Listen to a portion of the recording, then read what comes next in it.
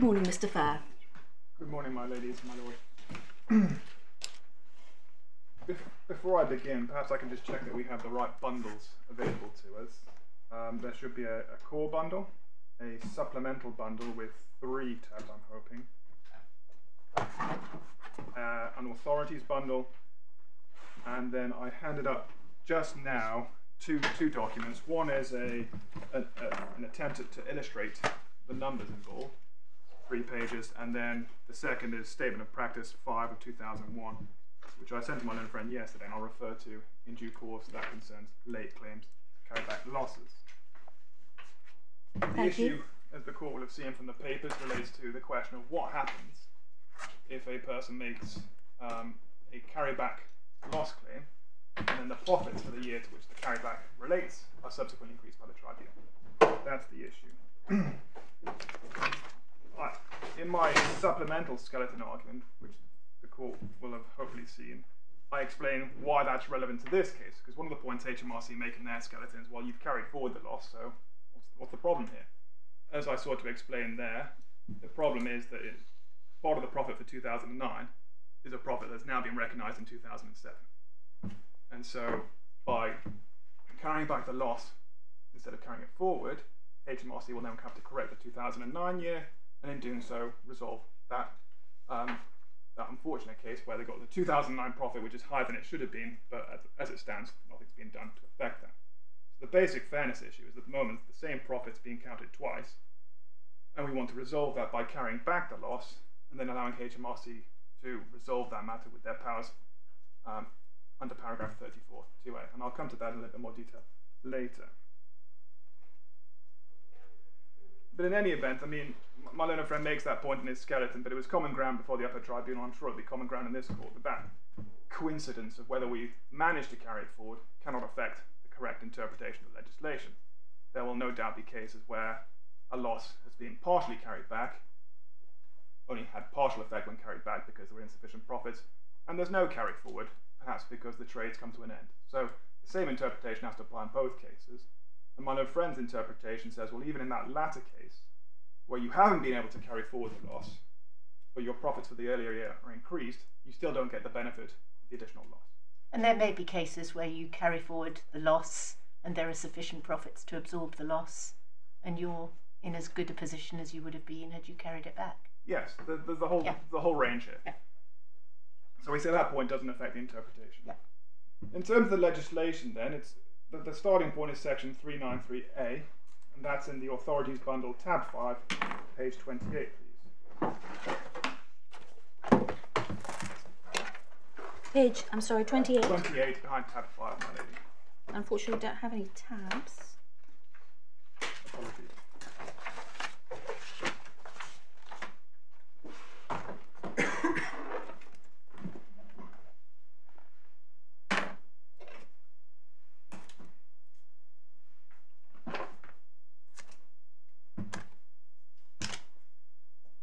And that says, subject to section 492, subsection 3, which is concerned with oil extraction activities, so it doesn't concern us where in any accounting period ending on or after the 1st of April 1991, a company carrying on a trade incurs a loss in the trade, then subject to subsection 3 below, the company may make a claim requiring that the loss, the whole loss, be set off for the purpose of corporation tax against profits of whatever description, A, of that accounting period, that's carry across, and B, the company was then carrying on the trade and the claim so requires, of preceding accounting periods falling wholly or partly within the period specified in subsection 2 which is the last 12 months. And, subject to that subsection and to any relief for an earlier loss, profits of any of those counting periods shall then be treated as reduced by the amount of the loss, or by so much of that amount as cannot be relieved under this subsection against profits of a later accounting period. So, we make two points there. The first is you can see it is a claim to, to require the loss to be set off against the earlier period of profit. That is the nature of the claim.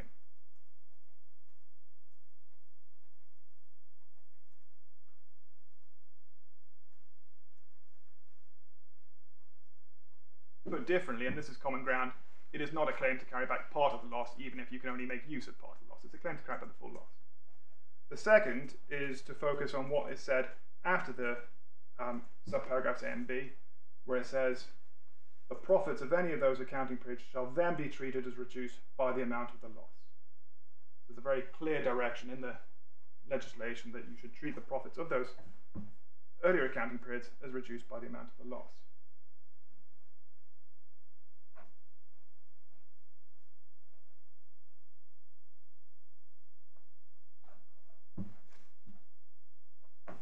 Whilst we're here, could we please look at page 30, which is subsection 10,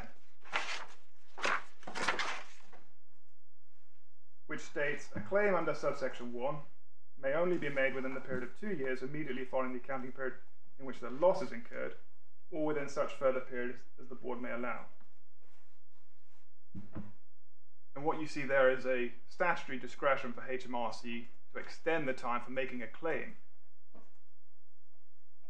And the statement of practice I handed up relates to HMRC's approach to extending the time for making such a claim.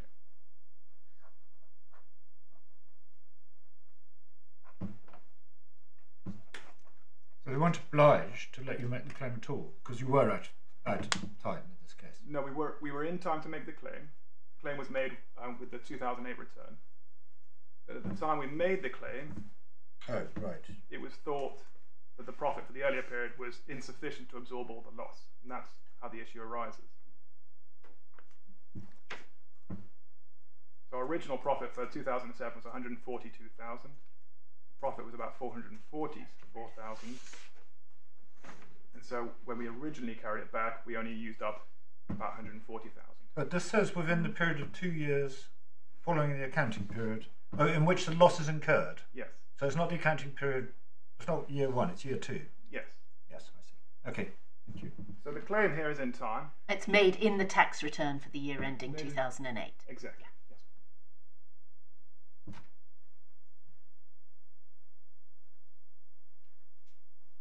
And the tax year ended 2008, ends on the 30th of April 2008, and the claim was made sometime in May 2009.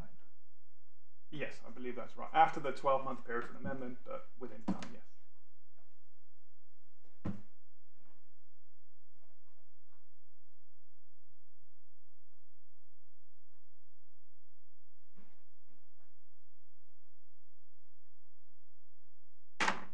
Yes. A- A point which I'll come back to later, because I say it does have some force, is that given that the claim is simply to carry back the loss, there is only one claim of that nature you can make in relation to a particular loss. You say, I want to carry back that loss, that period. One claim.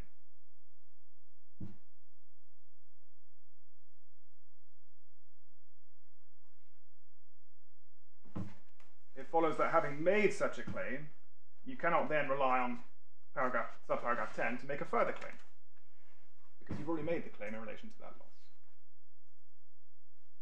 So whereas there would be a discretion to make a late claim in circumstances where there had been previously no claim in relation to a loss, there's no statutory discretion in relation to a situation where you've made the claim in time, but then further profits come to light.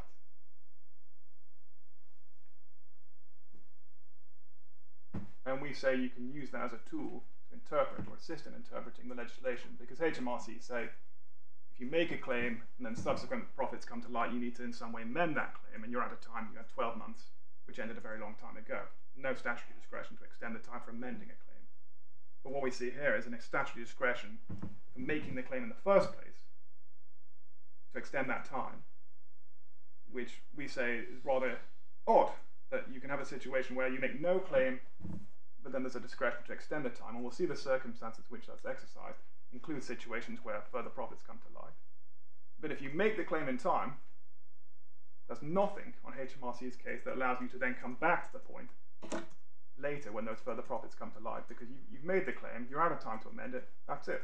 That's HMRC's case as I understand it. Whereas on But my there are time limits for ma- for amending your return in, in the TMA, aren't there? there's a time limit. This would be Schedule 18 for amending the return, Yeah. TMA for amending the claim. Mm. There are time limits 12 months from making the claim, 12 months from the filing date for the return, Yeah. which ended a very long time ago. Mm. And the point of this case is the profits are identified by the tribunal many years later. Yeah. In that situation, if we hadn't made a claim, the statutory discretion in paragraph 10, subsection 10 would apply, and HMRC would be required whether to extend the time limit. But because we made a claim, we can't make another claim for the same loss, that's already been done. And HMRC say, well, time limit for amendment's gone. That's it. Which is odd.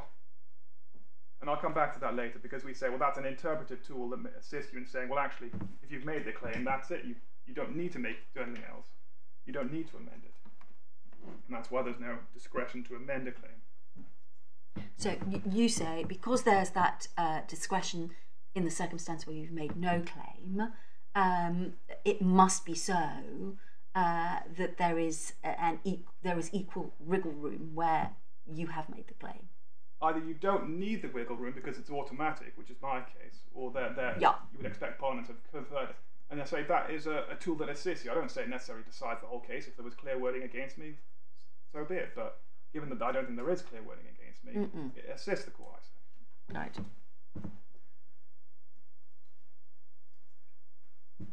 Right.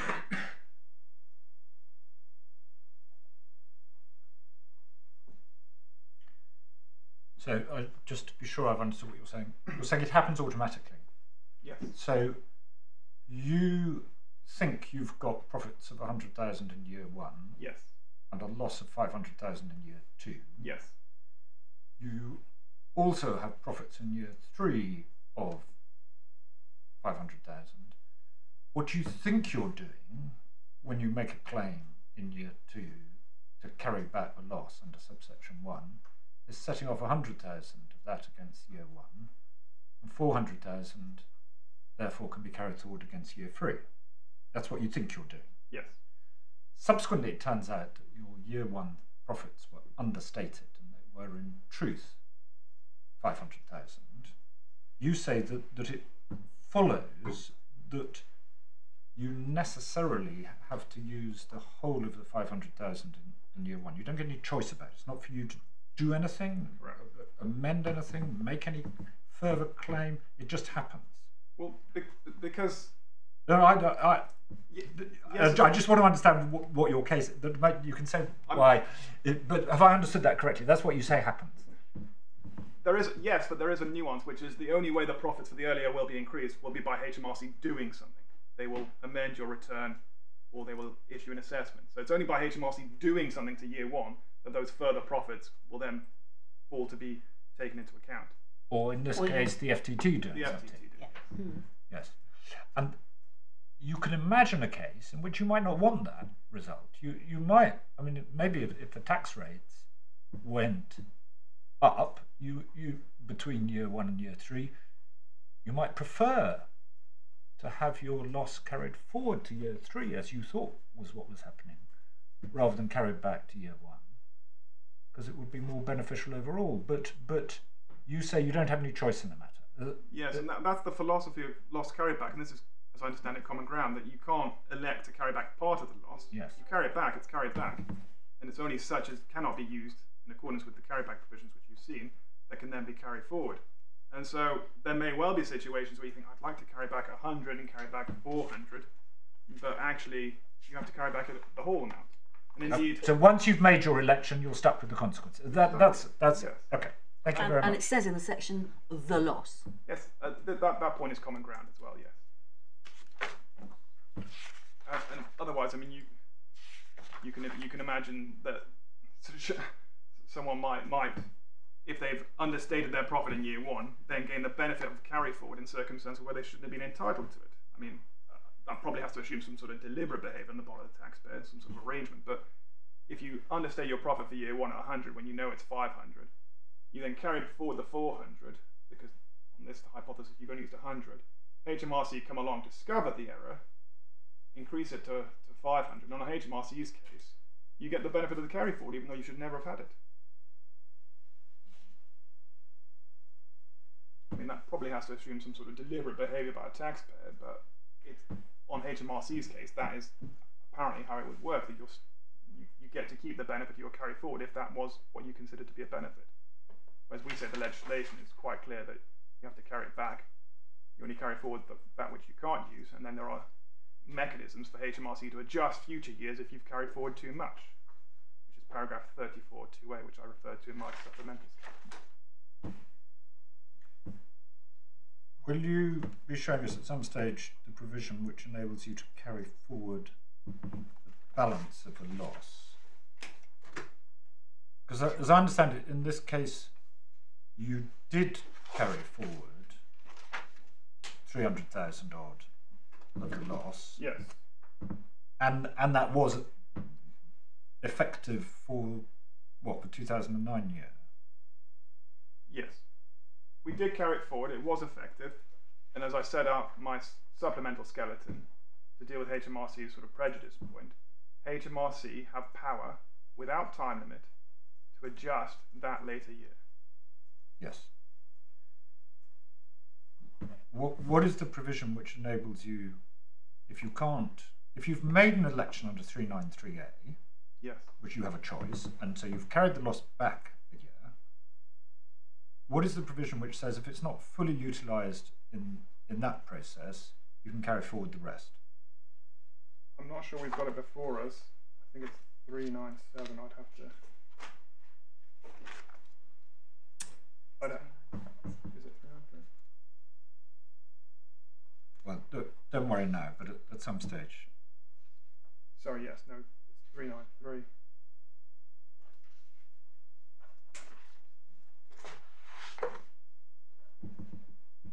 It's on page 25. Where in any accounting period a company carrying on a trade incurs a loss in the trade, the company may make a claim requiring that loss to be set off for the purpose of corporation tax against trading income from that trade in succeeding accounting periods.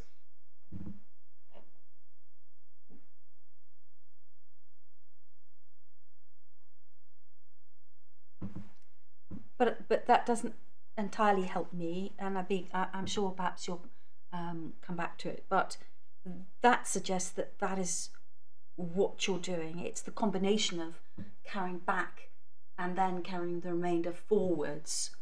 Um, it, I'm not sure that 393 enables you to combine the backwards and then the remainder forwards, or perhaps it does. Um, it's, it's common ground that's how it works. Um, Okay.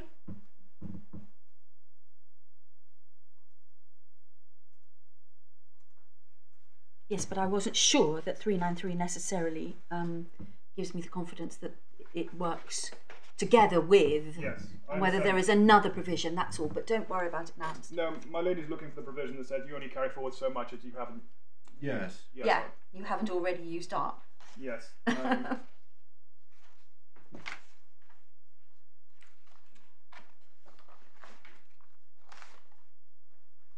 if I may come back to that, I Yes, off the do. top of my head, I, I can't identify the provision. I'm sure it's there. and There's no dispute. I don't think that that's how it is. It does work, but I, I know my lady wants to see it, now. No, no, that's fine. Thank you.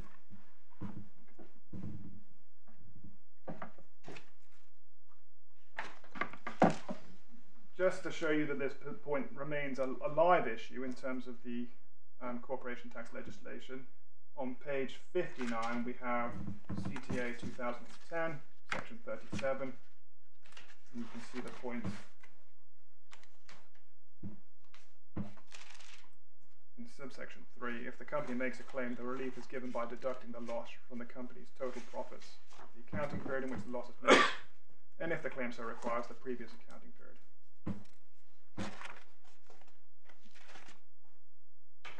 That's 37. subsection 2 and 3, my lady. Yep.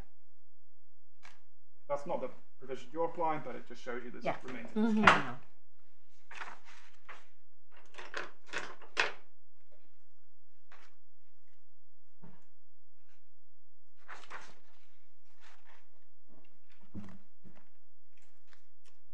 So, section 397A says if you make a claim, these consequences follow. The 397.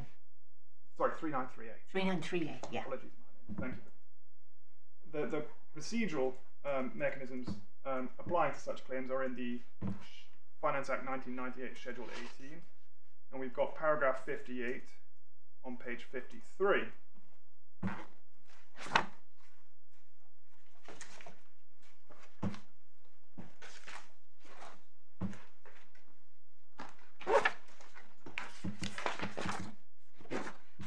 And claims or elections involving more than one accounting period. Paragraph subparagraph one. This paragraph applies to a claim or election for tax purposes if the event giving rise to it occurs in one accounting period and it affects more than one, one or more other accounting periods. Two, if a company makes a claim or election which relates to an accounting period for which the company has delivered a company tax return, an accounting period for which the company has delivered a tax return could be given effect by amendment. The claim or election is treated as an amendment to the return. What, what is the difference between A and B? Sorry, I'm being very slow.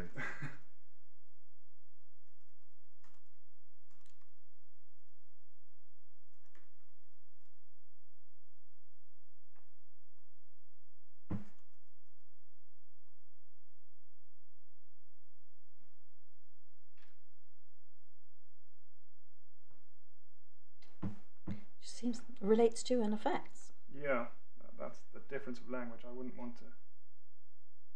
So relates to seems to be the um, period in which it occurs, and affects is Broader. another period. If you look at subsection one, so in our case, this would be under B, wouldn't it? Two B. It affects the 2007 accounting period for which the company has delivered a company tax return. I would venture that my lord is right. There are some specific provisions that say which year a claim relates to, and I would I would want to look Yeah. at those before I, I said absolutely yes. But it's it's common ground now that this is not the paragraph subparagraph that applies to us. That's because it's too late to give effect by amendment to the return.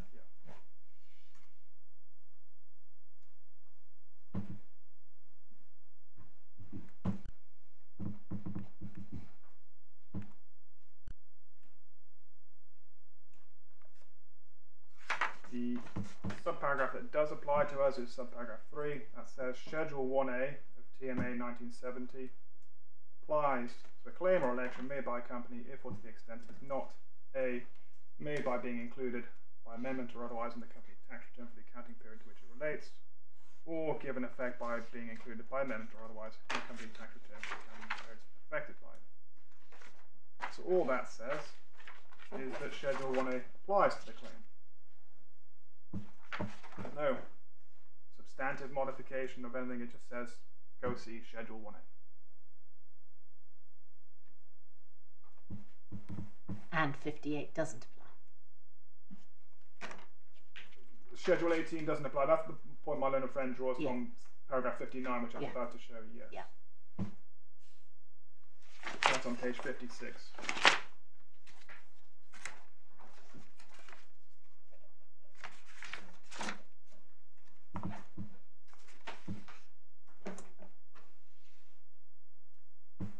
So in subparagraph 2, the provisions of this schedule do not apply, where to the extent the provisions of Schedule 1A apply. Yeah. So we're in 1A Yes. Territory. Yeah. But equally, nothing has told us um, to not apply Section 393A. That's one of my points, is that ICTA still applies. And as I'll submit, must apply. So we then go to Schedule 1A, please, which is at the beginning of the bundle. It begins on page 3.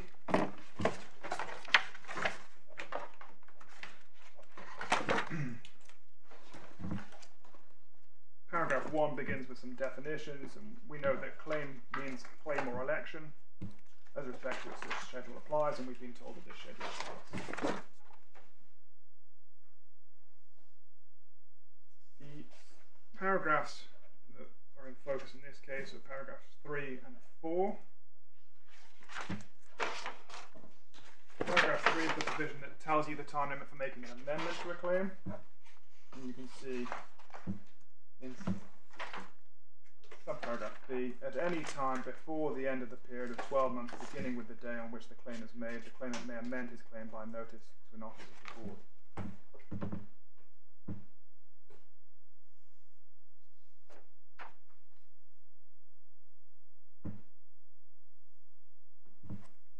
And I contrast that with 393A subsection 10, which gives two years plus a discretion. There's no discretion. And then we come to paragraph 4. Subject to certain subparagraphs, an officer of the board shall, as soon as practicable, after a claim other than a partnership claim is made, or such a claim is amended, give effect to the claim or amendment by discharge or repayment of tax. So I emphasise two points there: the as soon as practicable, and give effect by discharge or repayment of tax. And one of the important points I'm going to come on to make is that I say that discharge or repayment of tax must be the tax for year one.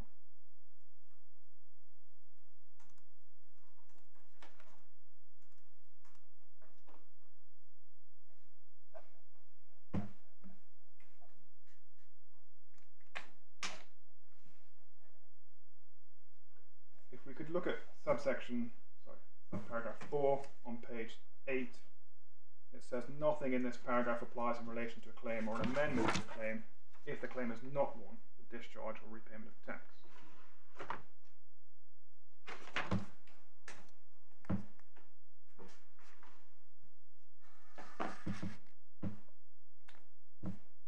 And you, you can perfectly well imagine that some claims in elections don't even indirectly lead to a discharge or payment, repayment of tax.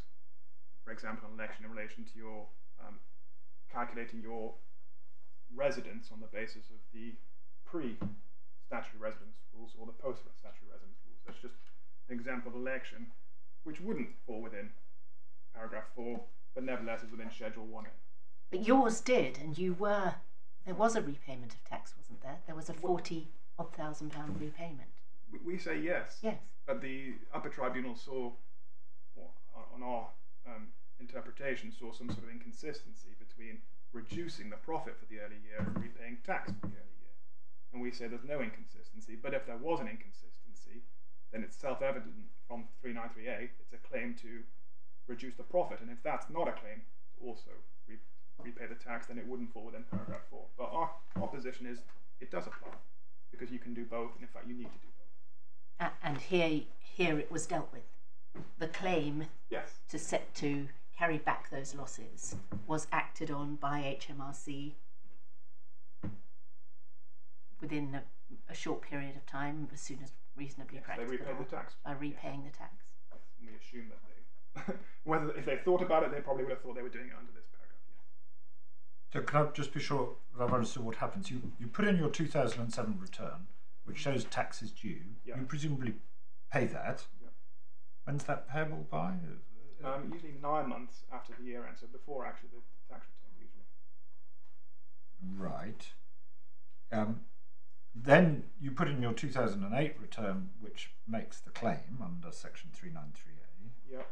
Well, that is given effect to by HMRC repaying you for tax. Yes. Uh, Um, It's in my, in my example, my little table here. well, no, don't worry about the example.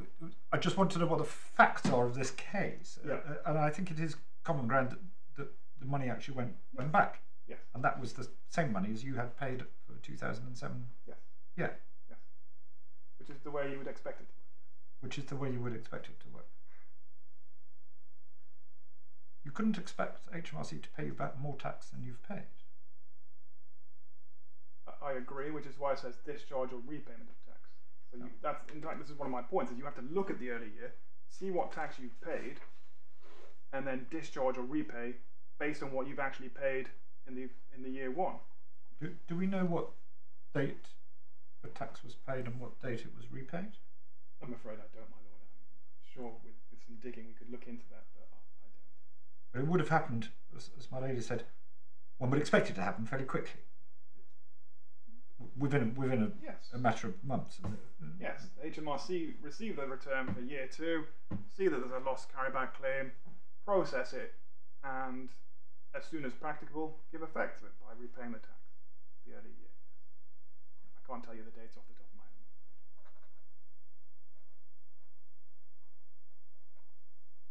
Is it like individual self assessment? You get a sort of statement of account each year showing what taxes charged, what you've paid, what's still outstanding. is, it, is it the same for corporation tax? Or? Um, There'll be something online, won't there? That there's a, I'm sure there's an account, There's a a running running account, that shows what you owe. Yes, um, I can't say I've seen the, the account in this case, my No, no. lord, but I'm sure there is something that allows both HMRC and the taxpayer to keep track of what you owe, and probably by reference to PAYE, VAT, corporation tax, possibly income tax, all sorts of taxes, and keep a running account so that everyone knows where they stand.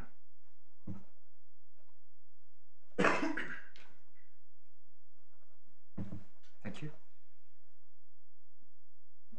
I was next going to show you the upper tribunal decision. It deals with the point quite briefly, essentially at paragraph 89. The court may well have read that and not need me to remind them what the upper tribunal said. I'm very happy to take you there. We, we have read it, um, and you should assume that we've uh, read all the essential documents, but perhaps you can quickly take us through it. The core bundle,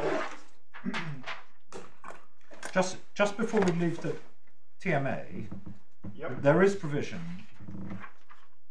in this schedule, Schedule 1A for HMRC to inquire into the claims, that, uh, but that wasn't done in this case. You, you, Yes, as correct. you say, you just process it as, as a sort of straightforward yes, thing. HMRC have a window to inquire into the claim in the same way they have a window to inquire into a, a Into a return or an amendment to a return.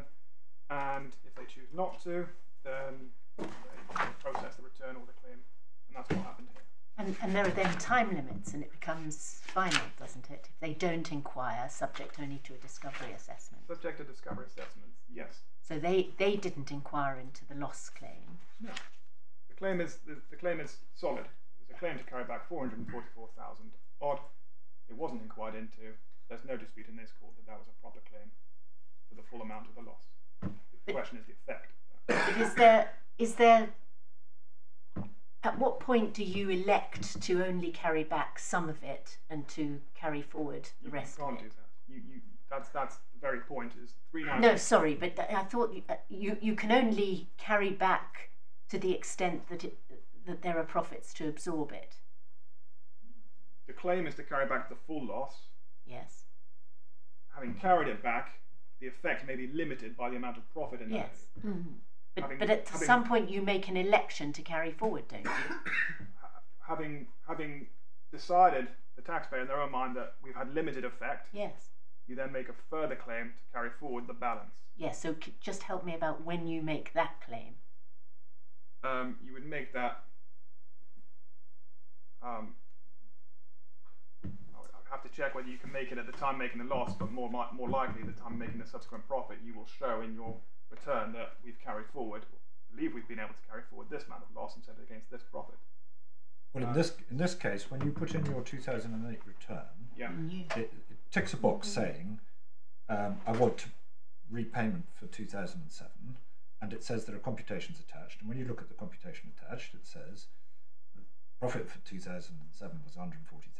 I've Yeah. got losses of 444,000, so I'm carrying back 144 140,000 of that, and I'm carrying forward the 300,000 odd balance. And then, presumably, as you say, you give effect to that when you put in your 2009 return. You set out your profits for the year, and then you say, "But I'm carrying forward the balance of the loss." Mm, I, my lord, I think that's correct. save that I'm not sure you're committed to carry forward at that point you put in the 2008 return, because it may it may be that you end up ceasing trading, and then you will want to look at terminal loss carryback instead. What I had in mind was the page attached to your tax return, Yes. um, which is at page seven of this. No. Sorry.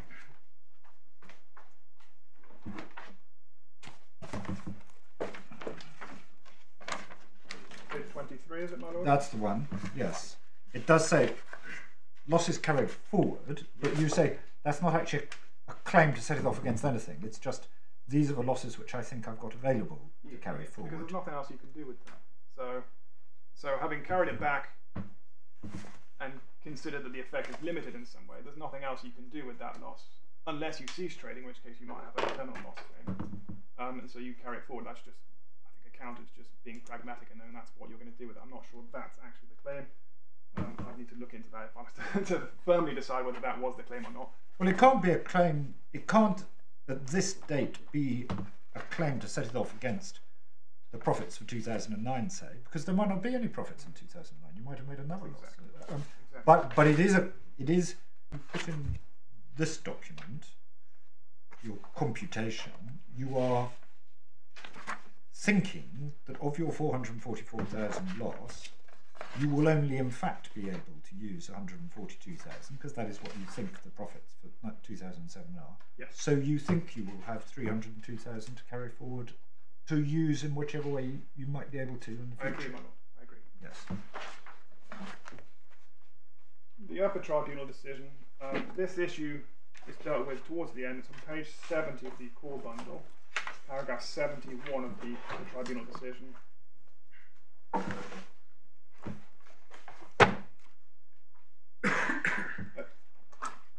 Paragraph 77, the upper tribunal sets out section 393A.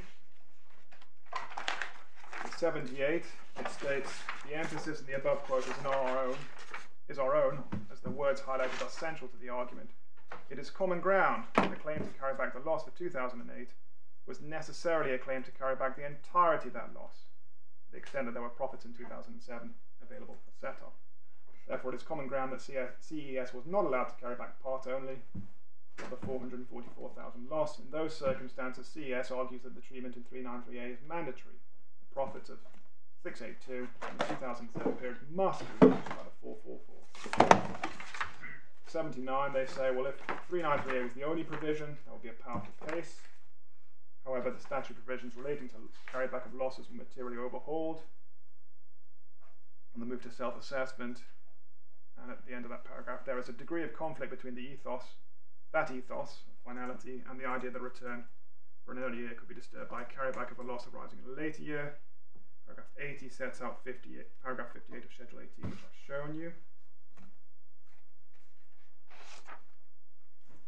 At 82, the upper tribunal reaches the conclusion that it's 58.3 which applies here, so we go to Schedule 1A, and then it refers to paragraph 4 of Schedule 1A, which I've shown you. At 83, it notes the limited period to amend a claim.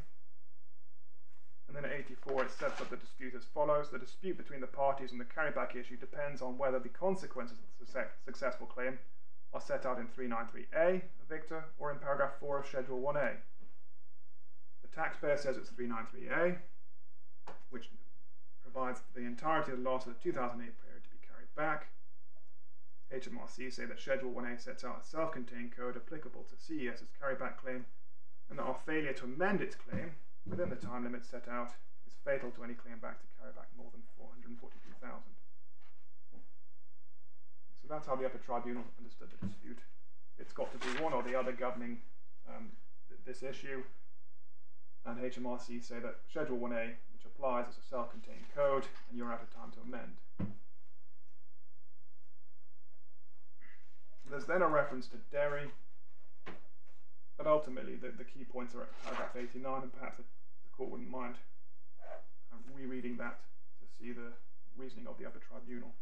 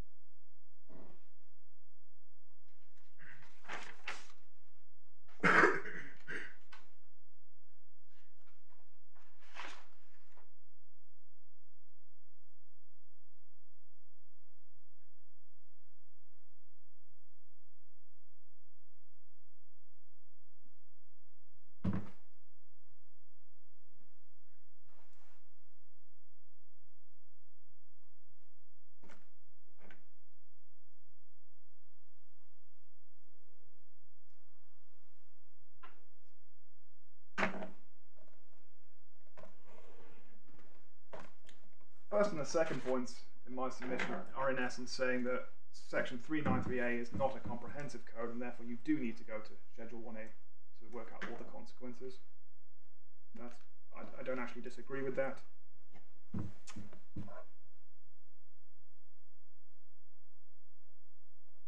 My, my point is they're not mutually exclusive and you in fact apply both with full force.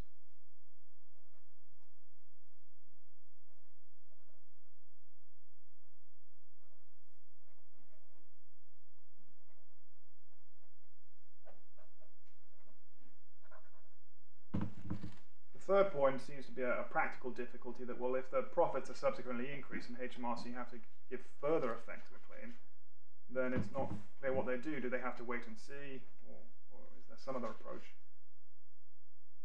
Um, but as I've said, I mean, you've seen the provision in, in paragraph 4 that says as soon as practicable.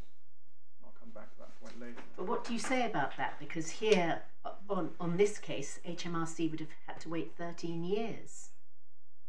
But HMRC don't have to do anything because necessarily Well, in your case, there's in your case, um, there's nothing to do until 13 years later. But there may be other cases where HMRC, a taxpayer could expect some repayment of tax. Is HMRC then entitled to say, well, got to wait because who knows, the profits may go up, profits may go down, my, my lady, I- something might change. Two points to that. The first is I don't see how it could arise because the whole point is the taxpayer puts in their return says my profit is 100. If everything is left there, HMRC repay tax on the 100 and carry forward the balance and that's the end of it. If the only way that treatment is disturbed is if HMRC come along and say your profit wasn't 100, it was Yeah. 300. Yeah. And at that point, at the same time as um, as, as addressing the three, the extra 200, all they have to do is also bring into account the loss, and they'll net off. And so the overall result will be profit goes up by 200, but then reduced in accordance with 393A. No tax is either paid or repaid, because no tax is being paid on that extra that extra profit anyway, because you didn't know you had it. And so I can't think of a situation in which you'll have to have further repayment or payment of tax in it in it in the sort of situation we're looking at because it only arises where you're told you had profits you didn't know about and therefore haven't paid tax on. And that's what's happened here.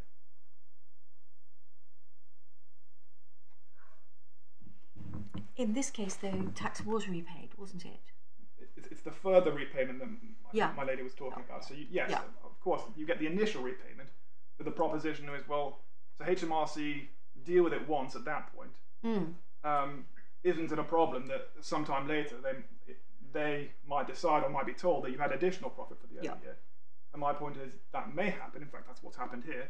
But no tax has been paid on that additional profit, so we're not going to have to repay any additional tax because you didn't pay the tax in the first place. But but what might have happened is you might have set the losses off against a later year's profits, and so you've got to unwind all the other years, don't you? Well, you have to deal with that, but there's a specific provision that allows HMRC to deal with this consequential point without time limit.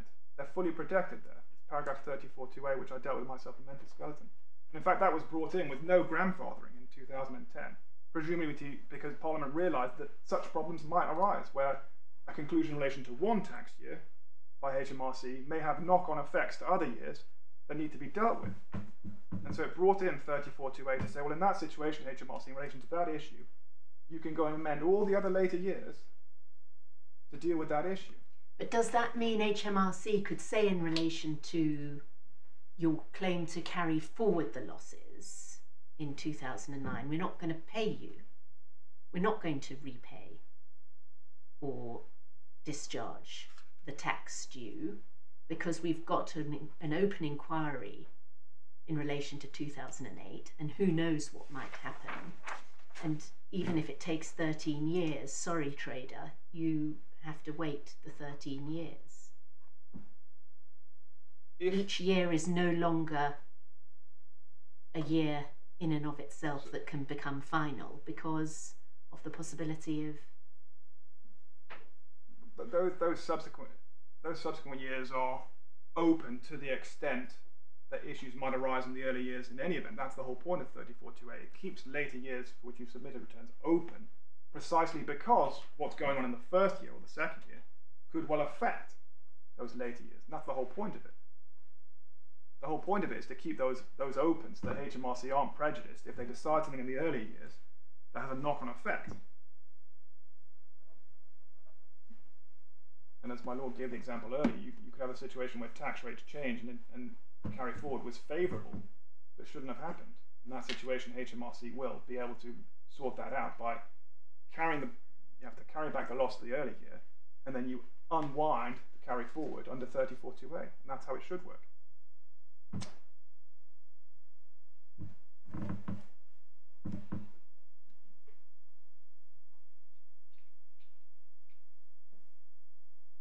What is the mechanism? I mean, if I've understood correctly, you, you, your submission is that what should have happened in this case is you pay your 40000 for 2007, you put in your claim for carryback, you're repaid the 40000 and as I understood it, you're, you're not saying that, that that shouldn't have happened because the there was still an open inquiry into 2007. You still still should have that was still reasonably practical for HMRC to repay you the 40,000 when it did. Mm-hmm. But once the open inquiry is finally resolved, which is not until the FTT is decided on appeal in 2020, at that point, the amount carried back should have been increased from 140,000, which is what it was originally thought to be, to 447,000 to set against your profits of a year, which have now been restated at 600. 81,000. How does that happen? How does the 140,000 get increased to, to 440,000? It's, not something that that you do because as you explained to us earlier, you don't have a, an opportunity to change your claim at all. So how does it happen? First point is to, to, to reiterate that claim is for the whole loss. It's just the effect was limited in the first place. As the profit is in, once the profit is increased, the effect is no longer limited. And so, at the same time as the tribunal increasing the profit because it's found additional um, profits, it must also take into full account the loss that was, has been properly claimed to be carried back. And so, it's sort of a, just a balancing exercise. You increase by the 540. What's, what's the mechanism by which it does it? Because that sounds like an amendment to the return for 2007. the issue before the tribunal, the issue which the tribunal was deciding was what was our correct level of profit for 2007. Yes, And in order to take that, in order to decide that, you don't just look at the, the factors that would increase the profit. You also look at the factors that would decrease the profit to come to the one. There's only one profit for 2007. There's only one correct profit under the Taxes Act for 2007, and that's the figure the tribunal was tasked with deciding in order to decide what the correct outcome of the appeal was. There's not two different profit levels depending on a Schedule 1A world or a non-Schedule 1A world. There's one correct profit level. The tribunal decided that our original 140,000 profits had been understated by 540, so you increase that. But equally, you apply at the same time 393A, which says you must reduce the profit.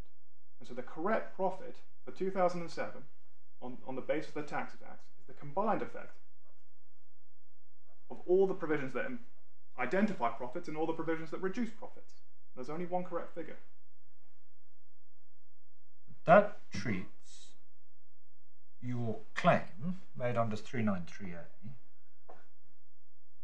as amending the return that you've put in, even though you're out of time to amend it. It treats as reducing the profit, my lord, and then the tribunal's task on appeal is to identify the correct profit for the year, which is what it does by taking into account the provisions that increase profits and the provisions that decrease profits. It's not that we've gone and amended the return, it's just that the tribunal now has to decide what the correct profit is for that 2007 year, and it must take into account, as I said, both the, the ups and the downs. It's no different to saying, well, if you submit a return showing 100,000 of profit and HMRC don't amend the return and say they raise an assessment because they've identified an extra 200,000 of profit, what is the profit for that year? It's 300,000. It's not two separate profits for that year, the return profit and the assessment profit. There's a single correct profit under the Taxes Act, which is the 300.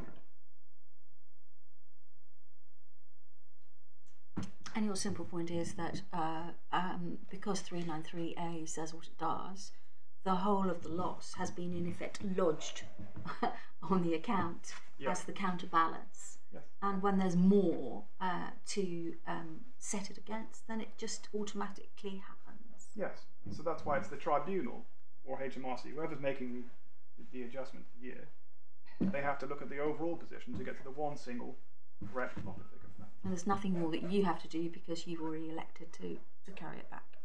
and, and there's no, this is the point I was going to come on to. I'll, I'll deal with it now because it's relevant. There's nothing we could do. I mean, HMRC say, well, you need to amend your claim. The claim is simply to carry back the loss. We've already done that. We didn't, we didn't ask to carry back part of the loss. So what actually would we amend?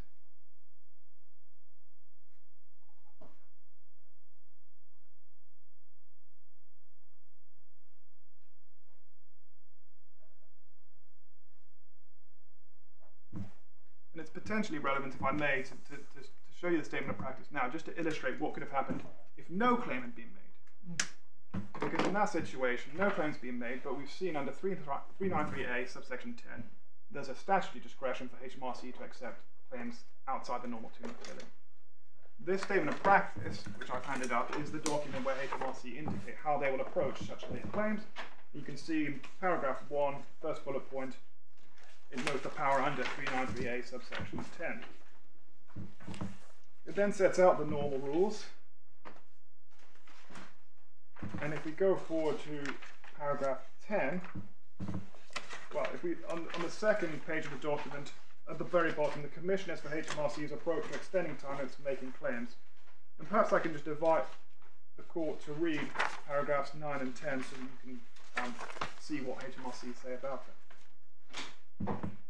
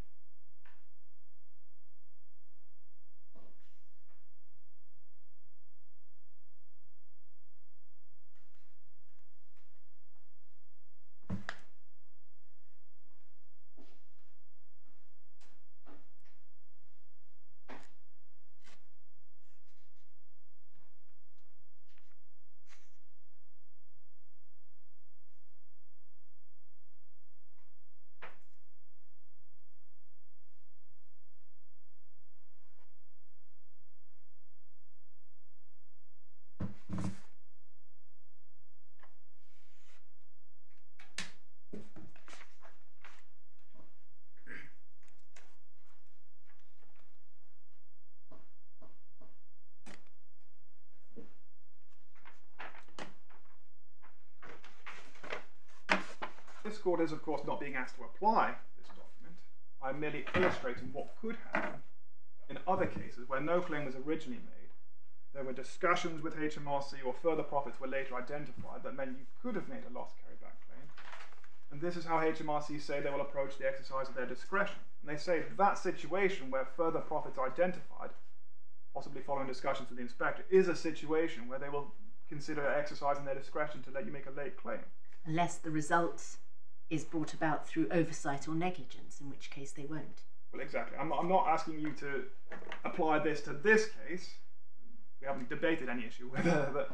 Um, I'm just illustrating that in cases where no claim was made, but but the tribunal subsequently identifies profits, it, putting to one side the possibility of negligence and omission of that sort, HMRC indicate, well, we will let you make a late claim to carry back the loss to the earlier period to the amount of the additional profit, which seems very fair and reasonable. It's not, I'm asking you to apply to this case, but that's, that's what could happen. But what they're saying, by virtue of their position in this case, is well, if you made a claim, but you thought you had only £100 of profit, and therefore only utilise 100, but subsequently we identify £500,000 of profit and add it on, and that happens outside the time for amending the claim, there's nothing you can do. There's no discretion, this practice doesn't apply, and that seems, in my submission, striking and, and unfair.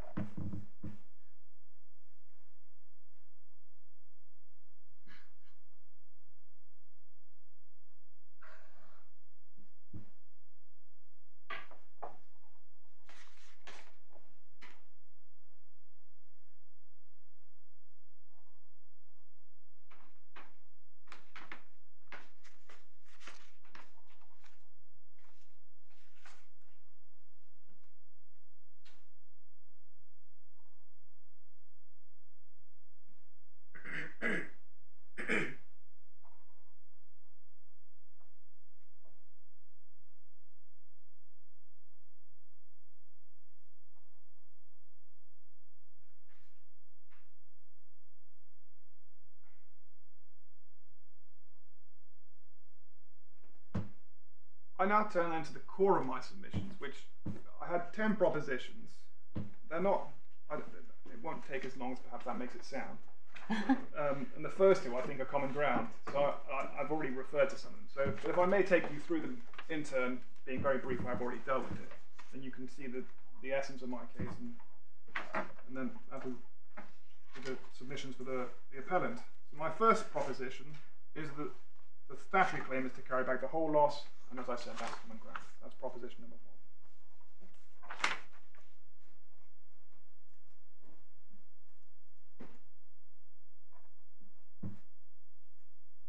Proposition number two is that section 393A contains a clear statutory requirement to reduce the profit for the earlier period by the amount of the loss.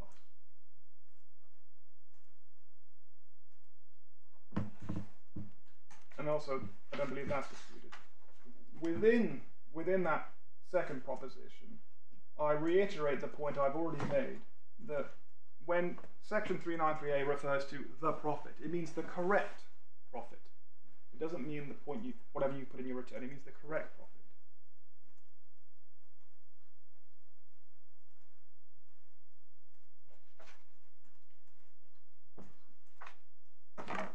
And therefore, when the first tier tribunal eventually decided that your correct profit for that year was 680 odd thousand, it's that profit that 393A is referring to that must be reduced.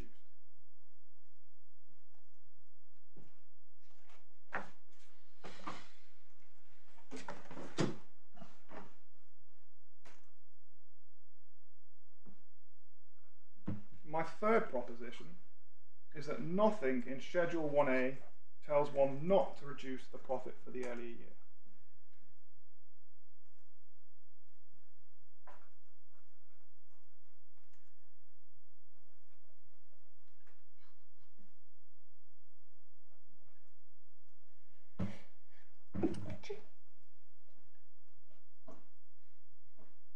It follows, and this is still within Proposition 3, that there's no inconsistency between 393A and Schedule 1A.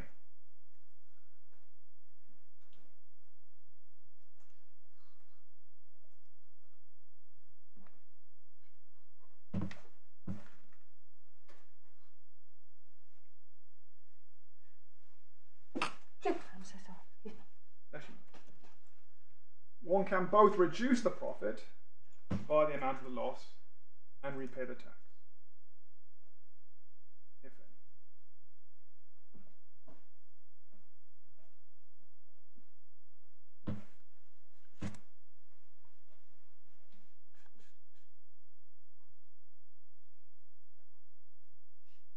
And a a point I've already referred to, and this is still within Proposition 3, is that if there was an inconsistency between reducing the profit, as we are told to do in 393A, and a claim for discharge or repayment within paragraph 4 of Schedule 1A,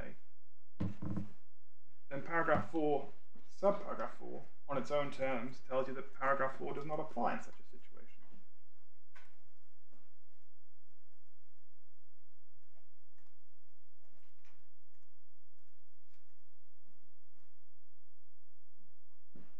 I haven't quite understood that. I'm sorry. the, the point is that one of the, one of the points, as I understood the upper tribunal to make, is well, you can't have both a, a reduction in profit and a discharge or repayment of tax. And because Schedule 1A applies, it's the discharge of tax that takes priority to the exclusion of a reduction in the profit. The point I'm making now is that argument goes too far because if it was right that there is an inconsistency between a claim to reduce the profits under 393A and a claim to repay or discharge tax, then the clear terms of paragraph 4, subparagraph 4 say that it doesn't apply. Because it's not a claim to discharge tax. If there is an inconsistency, then yes, it wouldn't. Paragraph four wouldn't apply to the 393A claim. My case is there's no inconsistency. But what I'm saying is, if, if it is suggested that there would be an inconsistency between reducing the profit and repaying the tax, then applying paragraph four by its own terms, subparagraph four, it would not apply because it says we do this provision does not apply. And then what would you do? You would just reduce the profits. You would- you would reduce the profits and give effect to it. By what, by what means? You well, having reduced the profit, then logically the tax um, is, is reduced as well. So it may be more inferential than explicit as it is in paragraph four. But if that if that were the case, then you would have to um, just reason it through as to what Parliament could have possibly intended. Um, but my case is quite clear that there's no inconsistency. I'm going to come on. That's my next proposition. Thank you. So we're on number four. Proposition number four is that, on the contrary, Schedule 1A necessarily assumes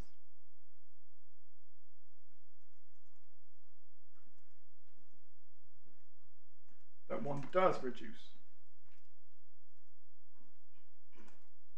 the profits for the earlier period.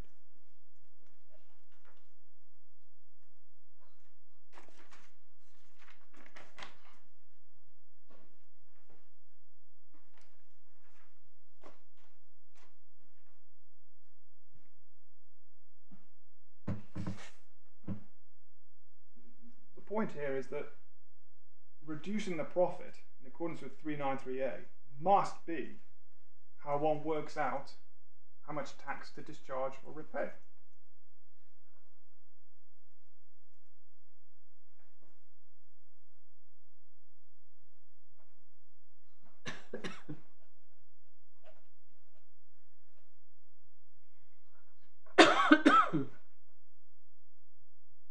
It- It's, it's not an adequate endpoint to simply say that Schedule 1A, paragraph 4 says give effect to the claim. That still begs the question well, how much tax are we repaying here? And in order to work that out, what you have to do is work the claim through. How do you work the claim through? By reducing the profit for the early year and then working out what effect that has on the amount of tax that should be paid or repaid for that year. And so my submission is that Schedule 1 necessarily assumes that we do go through this process of reducing the profit in order to work out how much tax needs to be repaid or discharged.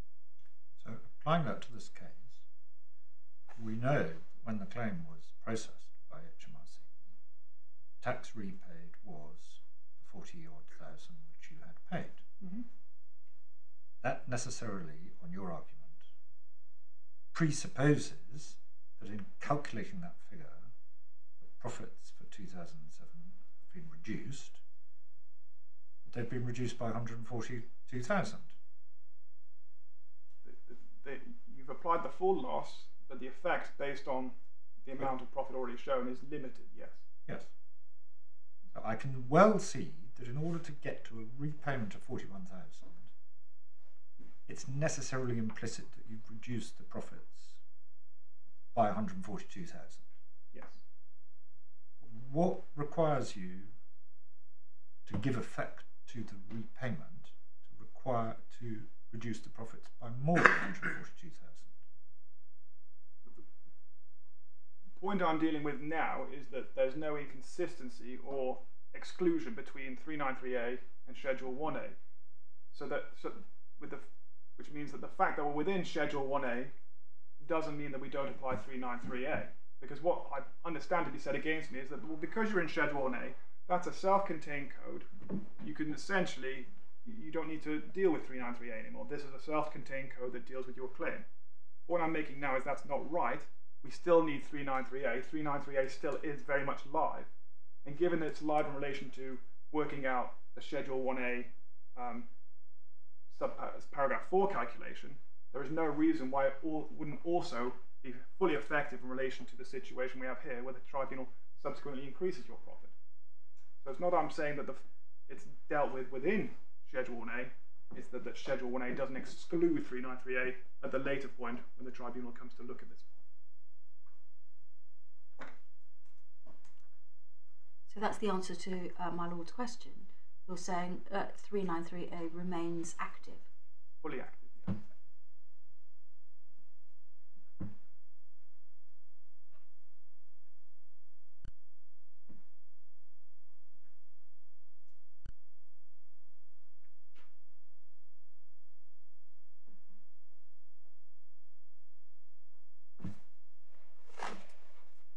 with him.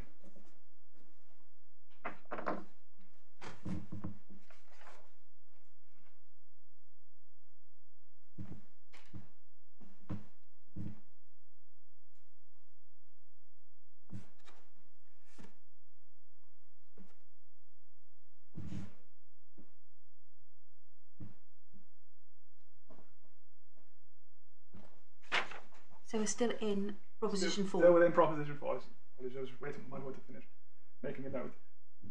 The, the second subpoint is that not only is that necessary, is it necessary to engage with 393A in order to work out the tax that must be repaid or discharged, but the tax that is repaid or discharged is the tax from year one. It's not that there's a freestanding amount that is handed over to you. It's that what happens, what is required to happen, is you repay the tax for year one, or you discharge the tax for year one.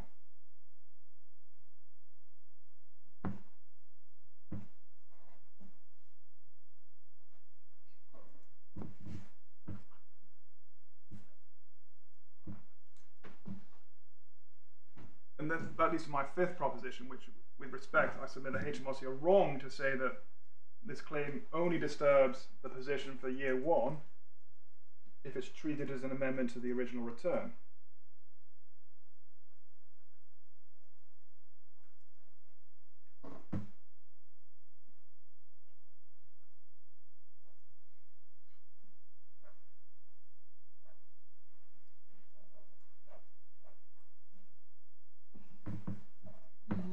The that, I make the same two sub points I just made, which is it's the profits for that earlier year that are being reduced in order to work out how much tax to pay, or how much to repay or discharge.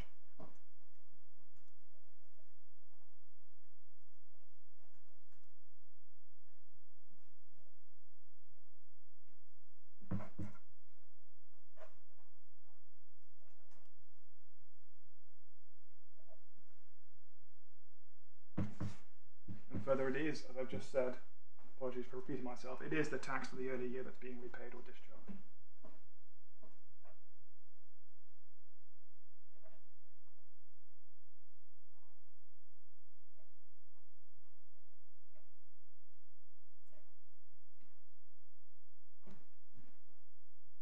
My sixth proposition is to draw a comparison with Schedule 1B.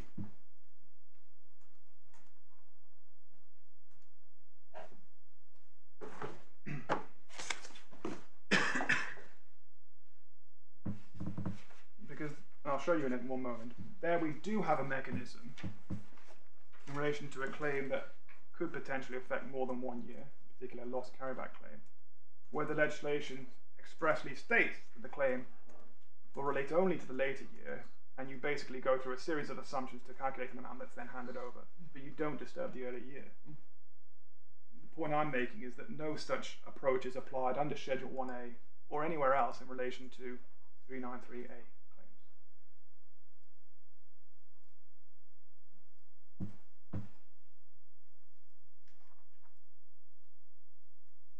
And the if we could pick up the authorities bundles just so I can make good that point. It's on page 15, please. Let's see, it's Schedule 1B, TMA 1970, claims for relief involving two or more years.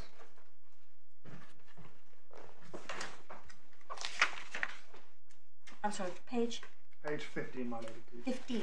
Yes, one five. If you if you know when you make your when you make your claim in 2008 to carry back the loss to 2007 that the profit isn't enough to cover the full loss. Yes. and you know then that you want to make a that you want to carry forward the loss. Does that count as a schedule 1b situation? Because it affects two years? My lady, it's it's common ground that this is a claim affecting more than one year. That's paragraph 58. yeah But this, it's also common ground that this schedule does not apply to corporation tax claims to carry back loss. It would apply to an income tax claim Right. to carry back loss. Okay. So it's because yeah. Okay. And we see under paragraph two of the schedule, loss relief. this paragraph applies where a person makes a claim requiring relief for a loss incurred or treated as incurred or a payment made in one year assessment to be given an early year assessment. 42.2 does not apply. In paragraph 3, the claim shall relate to the later year. And my lord, if you, you remember earlier you asked about the difference between rela- relating and affecting. There are provisions that say when and when a claim does not relate to a year, and that's why I was a little bit cautious in answering which paragraph um, is the relevant one. or would have been hypothetically. Um, subparagraph 4, subject to pa- subparagraph 5, the claim shall be for an amount equal to the difference between the amount in which the person is chargeable to tax for the earlier year and the amount in which he would be so chargeable on the assumption that effect could be and were given to the claim in relation to that year.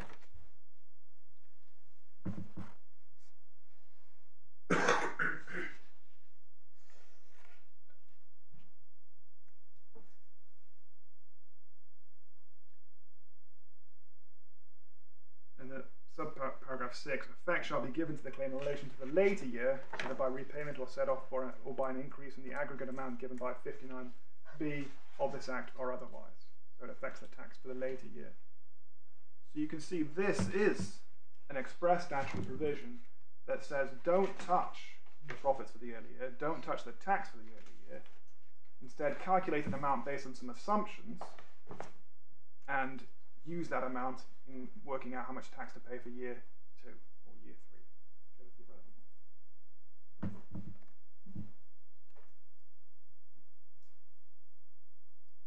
The implication I say is that this is not the mechanism that you have under Schedule 1A and 393A read together.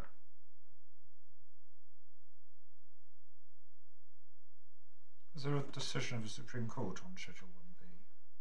I think it's Derry, yes. Uh, we've got that in the bundle.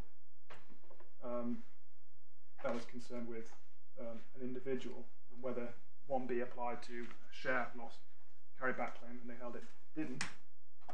We don't get much from the overall decision in that case. Um, my own friend says we don't get much from the case at all, I think. Um, but at the end of paragraph 36, there is an observation that would be relevant in relation to this issue. That's on page 110 in the authority bundle.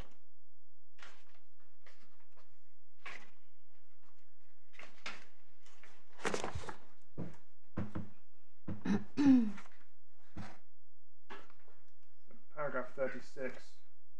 Having taken such care to walk the taxpayer through the process of giving effect to his entitlement as part of his tax liability for the year specified by him, it would seem extraordinary for that to be taken away without any direct reference or signpost by a provision in a relatively obscure schedule, Schedule 1B, of another statute concerned principally not with liability but with management of the tax.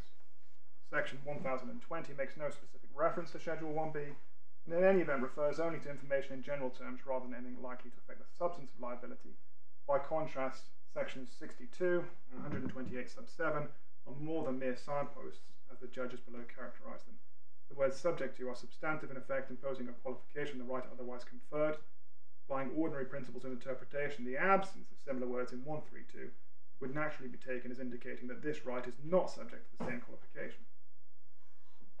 Point being made there is that Schedule 1B didn't apply to Mr. Derry's claim.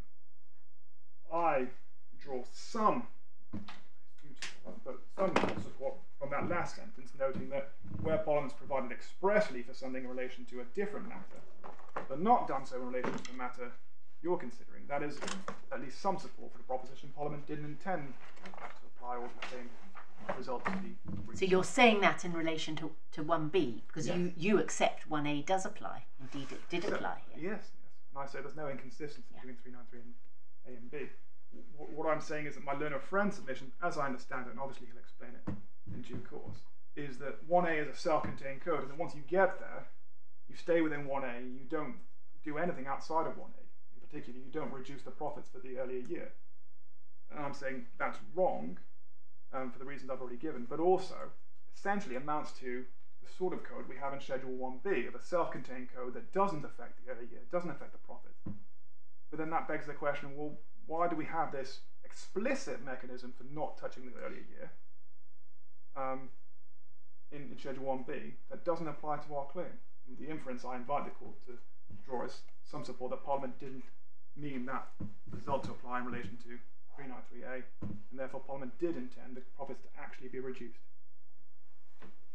You didn't take us earlier to the provision that said HMRC can unwind the later years.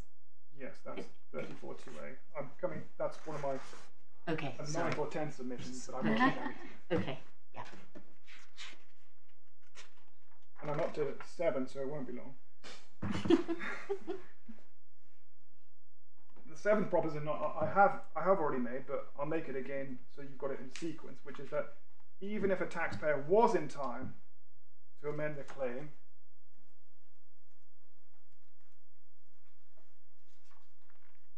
following an increase in profit,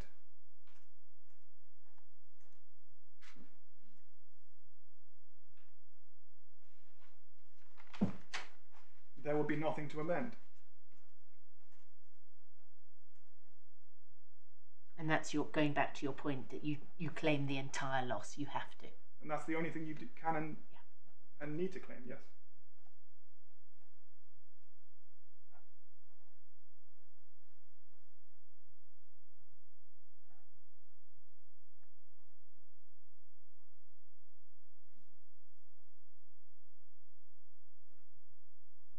And that, as I've already pointed out, undermines in my respectful submission, HMRC submission, that what we needed to do was amend the claim but we're out of time, and the upper tribunal's conclusion to similar effect.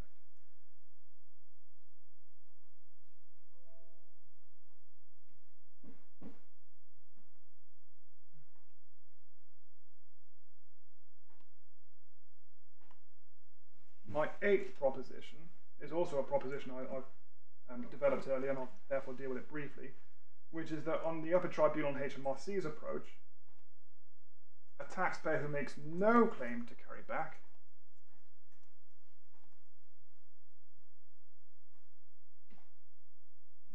prior to amendment of the profit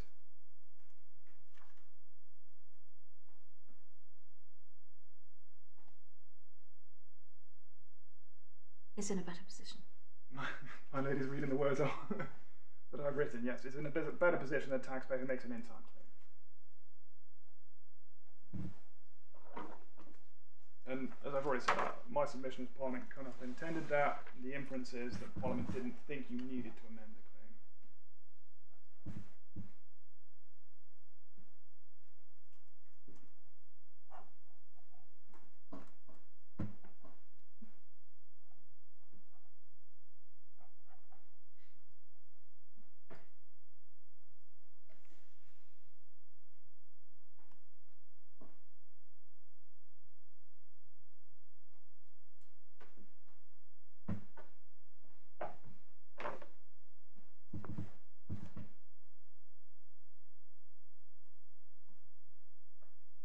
My ninth proposition deals with my brings us to my lady's um, request.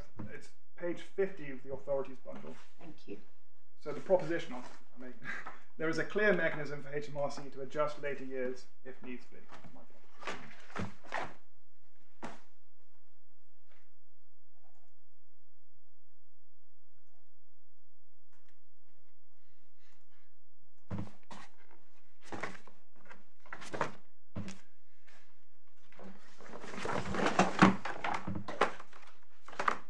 And so, subparagraph one.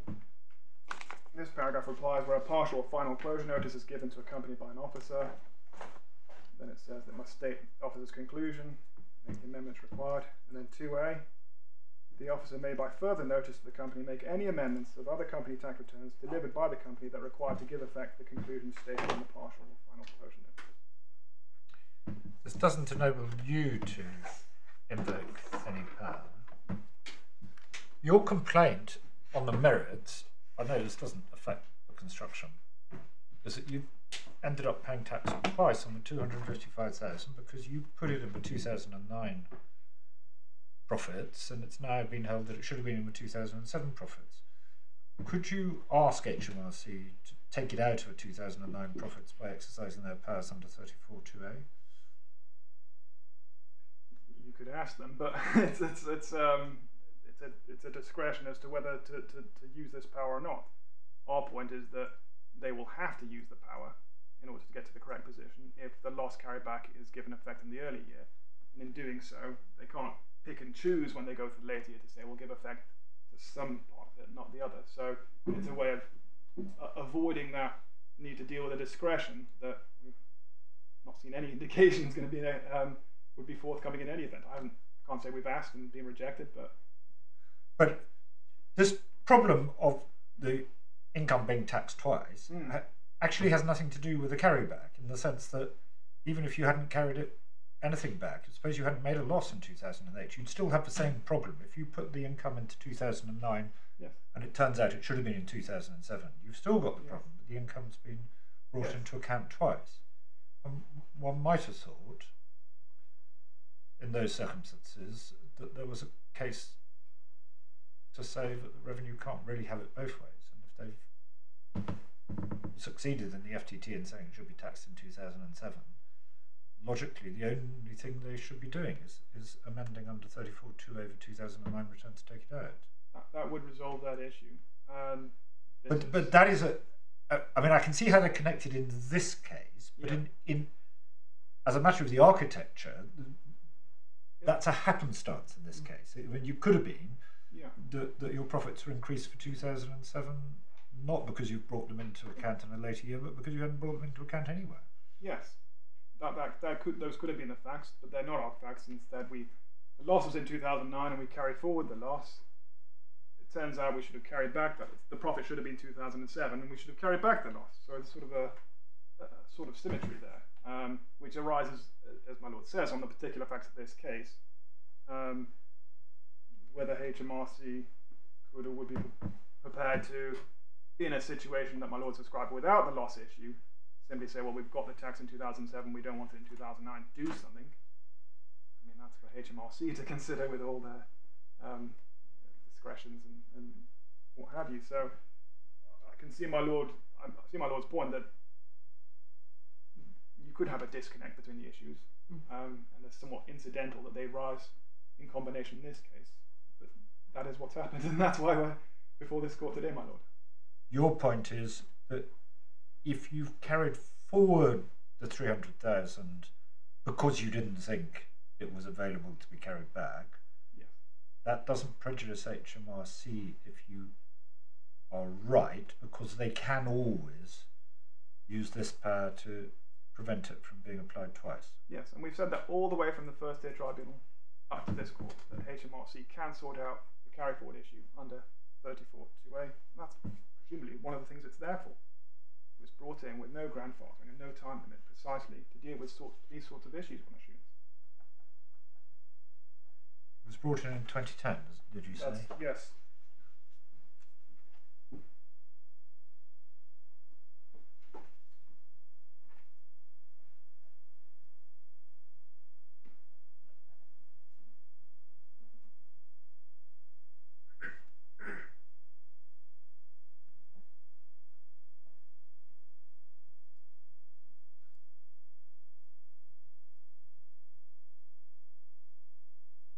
Thank you.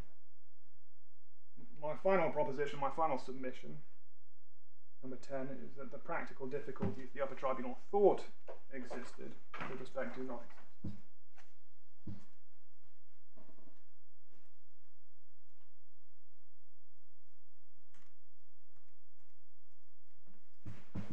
There's two subpoints, both of which I've already referred to, but I'll just highlight them so you've got them in the right place.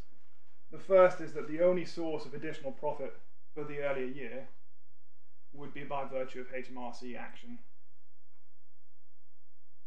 or tribunal action.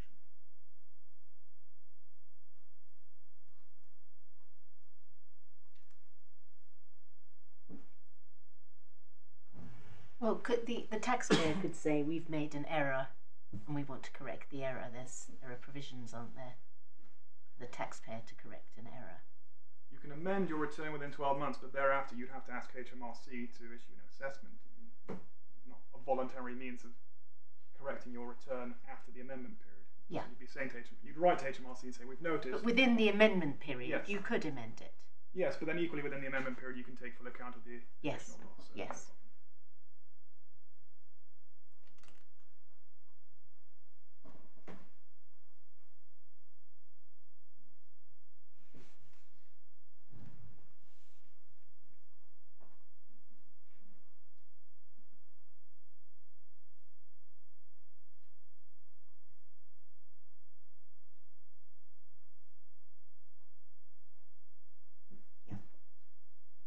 Given that the only additional source of additional profit would be by putting my lady's example to one side, uh, HMRC taking action. The requirement is simply for HMRC to factor in the loss when taking whatever action it is. If they think they've discovered an extra 200,000 of profit, then they factor in the additional effect of the loss carryback claim at that point.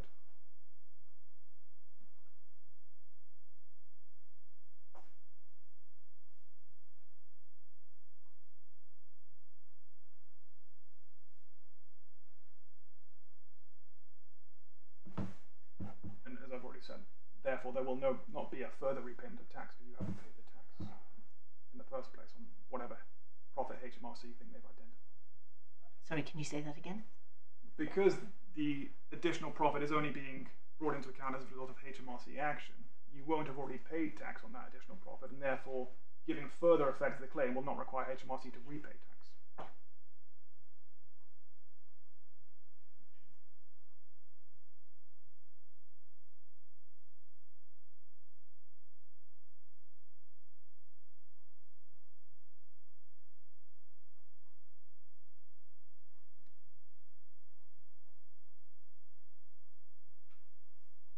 It's the it's the few it's the years that come afterwards that, that will require adjustment. Yes, you've seen the power.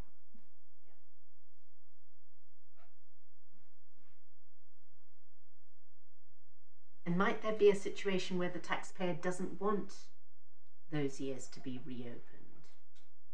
My lord gave the example of a situation where it was favourable to the company to have the losses carried forward because of different Yes. tax rates or whatever. But you say, do you, that where um, this additional profit is discovered and put into the earlier year, the taxpayer has no say about it and the revenue can unwind it all even against the taxpayers, even if the taxpayer doesn't want that. Yes, and that's the precise philosophy of loss carryback is it's the full loss carried back. Otherwise, the taxpayer who makes the error and carries forward the balance is in a better position than the taxpayer who gets it right and realizes I've got nothing to carry forward. And if, if carry forward would have been more favourable, why should the taxpayer who makes the error says I've got 100 when actually I had 300 be able to carry forward, and the taxpayer who didn't make the error and says I've got 300, nothing to carry forward, be in a better position.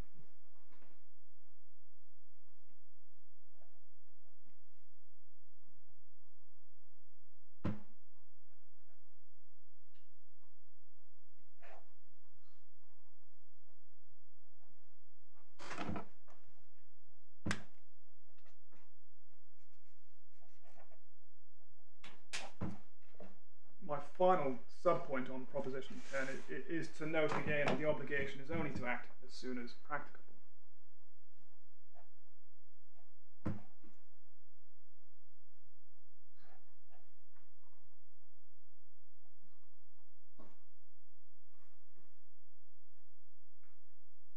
And that, that may well, even in other cases, involve waiting and seeing. For example, if the return for the year one hasn't been delivered by the time year two is delivered, which could arise. and Taxpayers sometimes get things, um, mix things up, or just don't submit one year it's too complicated and submit year two. Let's say there's a loss in year two, year one hasn't been submitted yet, but a claim to carry back the loss is made in year two. HMRC will just have to wait and see what year one shows, and then they'll be able to inquire into it in the usual way.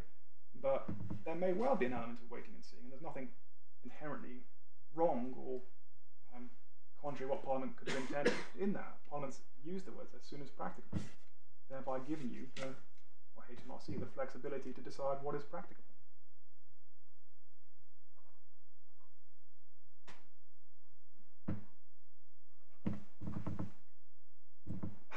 I haven't referred to my table, even though I spent some time putting it together. It doesn't do doesn't take us any further than I've already taken you. It just seeks to illustrate three different scenarios and what, in my understanding, is the difference between the taxpayer's interpretation and HMRC's interpretation. So I've assumed in examples one and two, £100,000 profit originally in year one, £300,000 loss in year two, and a 30% tax rate. And then we get additional profits identified for year um, one of 200,000. So we start off with our 100,000. We pay tax on that at 30%, that's 30,000. And therefore the tax paid for year one is originally 30,000. in year two, this is line four, we have our £300,000 loss and we make our claim to carry it back. The consequence is that our profit for year one goes down to zero, tax on zero is also zero, and therefore Schedule 1A requires HMRC to repay the 30000 Therefore, the end result is we, we, we paid zero tax for year one. As I understand the upper tribunals and HMRC's approach, the key difference arises at line 6. So having um, because they say that Schedule 1A is a self-contained code that doesn't impact on the profit, they're forced to say that the profit stays at 100,000 for year one, even after the loss carryback, because we don't reduce the profit. But somehow we do get a repayment of tax, and therefore the tax is zero in either case. So that's where I think the difference of analysis arises on a, the original position.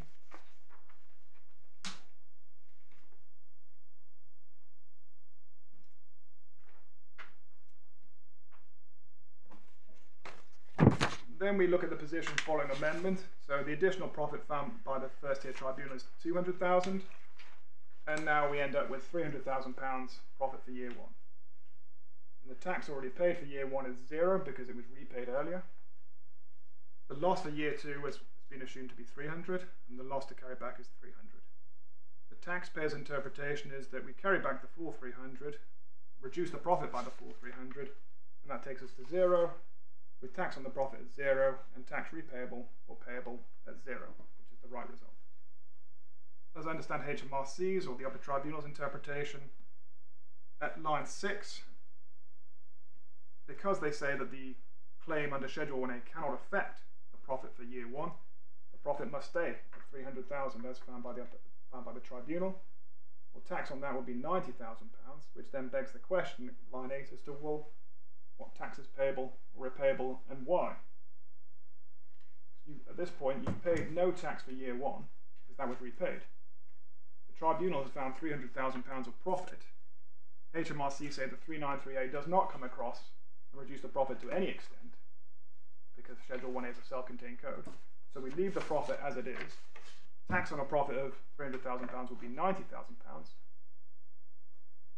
What then I raise as a rhetorical question, do HMRC say the correct result is, and how did they get to that?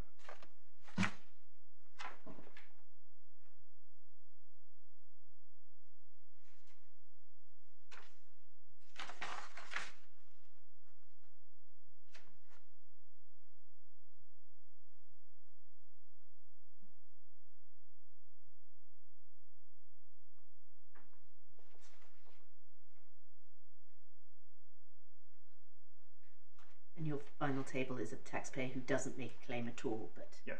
asks HMRC to exercise discretion when they claim. So I don't need to take you through that. I'm very grateful for the court's attention. Unless there's anything I, that I can help with, there's the submissions for the appellant. Thank you very much indeed, Mr. North. Thank you.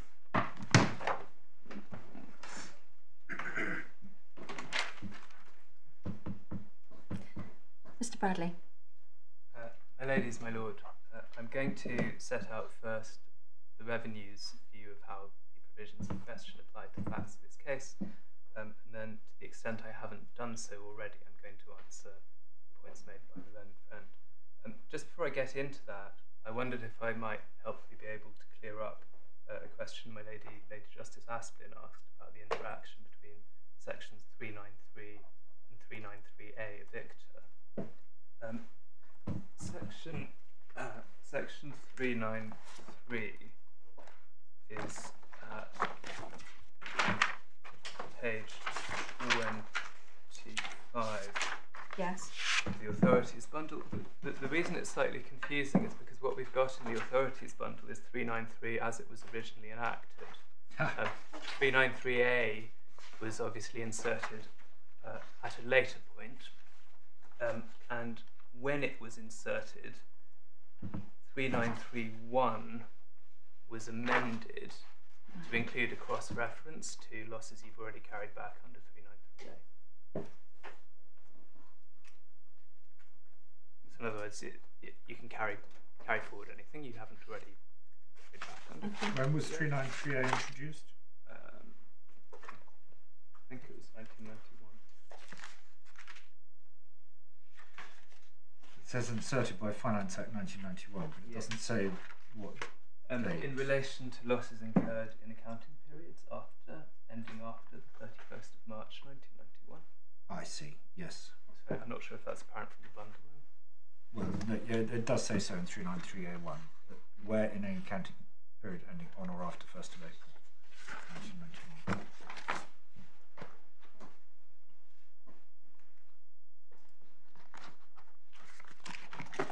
Thank you. So, um, my submission, the place to start in looking at the issue in this appeal is the FTT's jurisdiction. The FTT was hearing an appeal against a closure notice which amended the self assessment in the appellant's 2007 company tax return. Uh, and ultimately, the question for this court is whether the FTT made an error of law in not taking into account the carryback claim uh, in deciding whether the company was over or undercharged to tax by that self assessment as amended. The FTT's jurisdiction is set out in section 50 of the Taxes Management Act. That's page 21 of the authorities bundle. Um, and we can see there subsection 6 says if on an appeal notified to the tribunal, the tribunal decides that the appellant is overcharged by self-assessment, the assessment amounts, the assessment shall be reduced accordingly, but otherwise shall stand good. Uh, and then subsection 7 says the same thing in relation to the appellant being undercharged by self-assessment. Um, so what the FTT had to decide was whether the company was over or under or undercharged by the self-assessment, uh, and if so, to what extent. Now, the self-assessment in question was the self-assessment in the 2007 company tax return, as amended by the closure notice. And the, Is there a definition of self assessment? Um, there is, it's in section 8, but right, that's not in the bundle.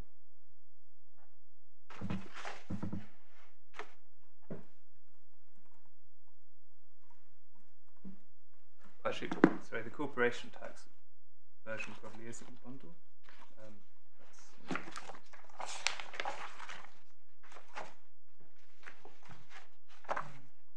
Yes, it's sorry. Um, page 37. This is paragraph 7 of Schedule 18.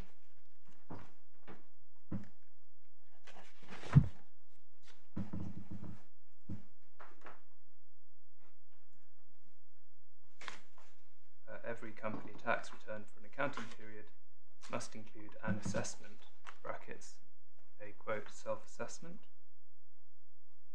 of the amount of tax which is payable by the company for that period.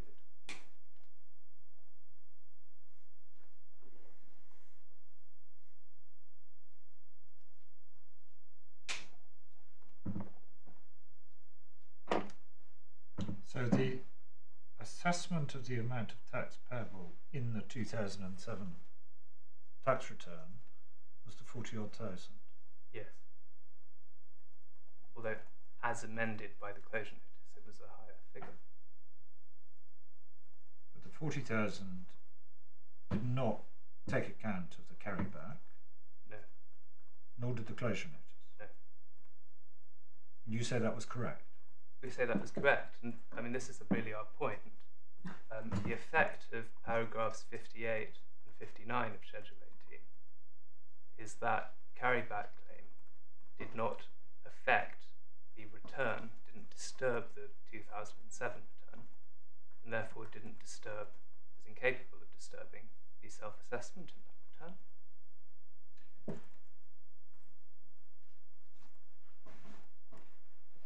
Um,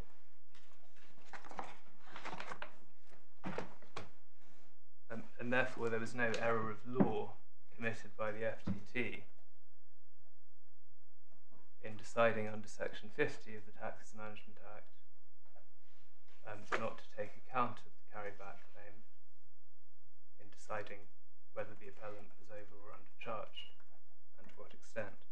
And th- this goes to a, a, point my Lord Lord Justice Nugee um, raised a couple of times. Uh, my Lord asked my learned friend, what's the mechanism? What's the mechanism by which the carryback is increased from 140,000 odd to 440,000 odd? And the, the mechanism has to be section 50, subsection, subsection 6 to 7. It, it's worth noting um, the learned friend could have put his case a slightly different way. He could have said, um, perhaps, that the original carryback claim, Schedule 1A claim, um, has some kind of continuing vitality, so that there should be some further discharge or repayment of tax now. Um, we'd have something to say about that, obviously, and it doesn't it doesn't assist him in this appeal because this is not an appeal against uh, a closure notice on an inquiry into a Schedule 1A claim or a judicial review asking HMRC to give some further discharge or repayment of tax. Um, as, and also, I think my learned friend disavowed any reliance on that particular line of argument. But as, as far as this court is concerned today, th- this is the mechanism.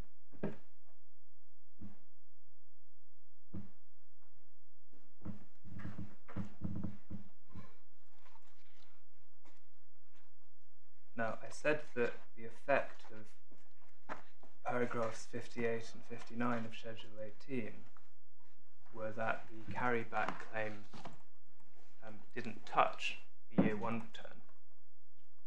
Um, paragraph 58 starts on page 53 of the authorities bundle.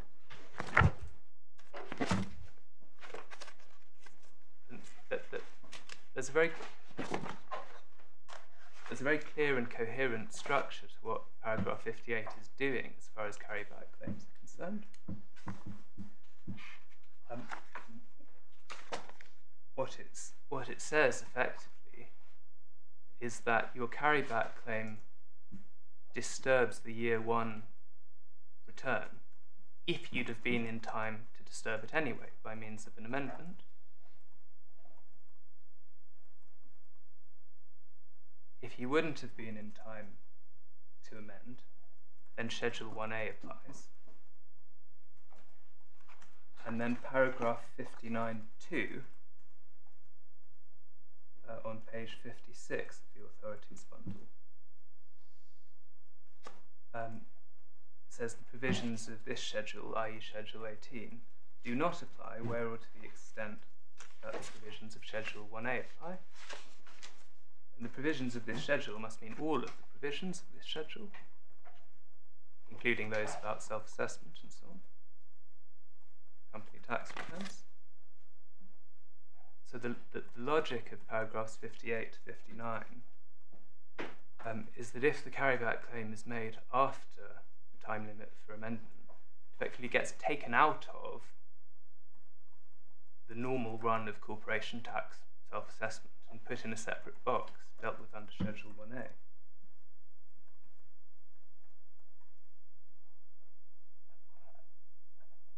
Um, just as a side point, learned friend said it's common ground that Schedule 1B of the Taxes Management Act doesn't apply to corporation tax carryback claims. That, is common ground. Um, but the effect of paragraphs 58 and 59 uh, in the case where would have been out of time to amend um, is substantially the same as Schedule 1B.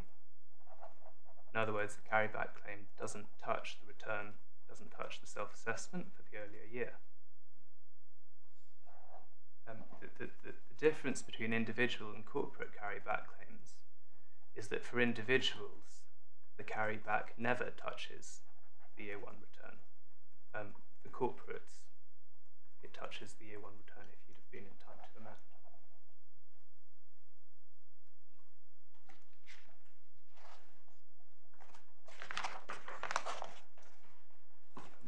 Ah, just while we're here, at the risk of stating the obvious, but for the sake of clarity, this does mean it makes a difference whether or not the carryback claim is made um, before or after the time limit for amending the year one return. Um, if if the two, if in this case the 2008 tax return had been filed a couple of months earlier, um, it would be a completely different case. But that, that, there's nothing surprising about that. That's just part of the logic of time limits. Can I be sure I understand how you say it would have worked had it Yes. been done in time? Mm. You would treat the 2007 return as amended Yes. to include a line saying profits for the year 140,000 less carryback, Yes. profits nil, self assessment nil. And then when HMRC puts its closure, amends that through the closure notice and increases it to 300,000 or whatever it was, HMRC would have to also amend the, the amount of carryback. Yes. So when the FTT on appeal increases it to 680,000, it would also have had to include Yes. the whole 440,000. Yes. So that would have had the effect Mr. Firth says happens in this case. That you accept that that is how it would have happened had it been done in time. We, we, we accept that, my lord. Yes. So the only difference between you is the fact is the fact that this is out of time for making amendments and therefore out of time for disturbing that year one return. That, that's right. Otherwise, you agree with his approach to the If, legislation. if, if the 2008 return had been filed a couple of months earlier, I would agree that he's right. Yes.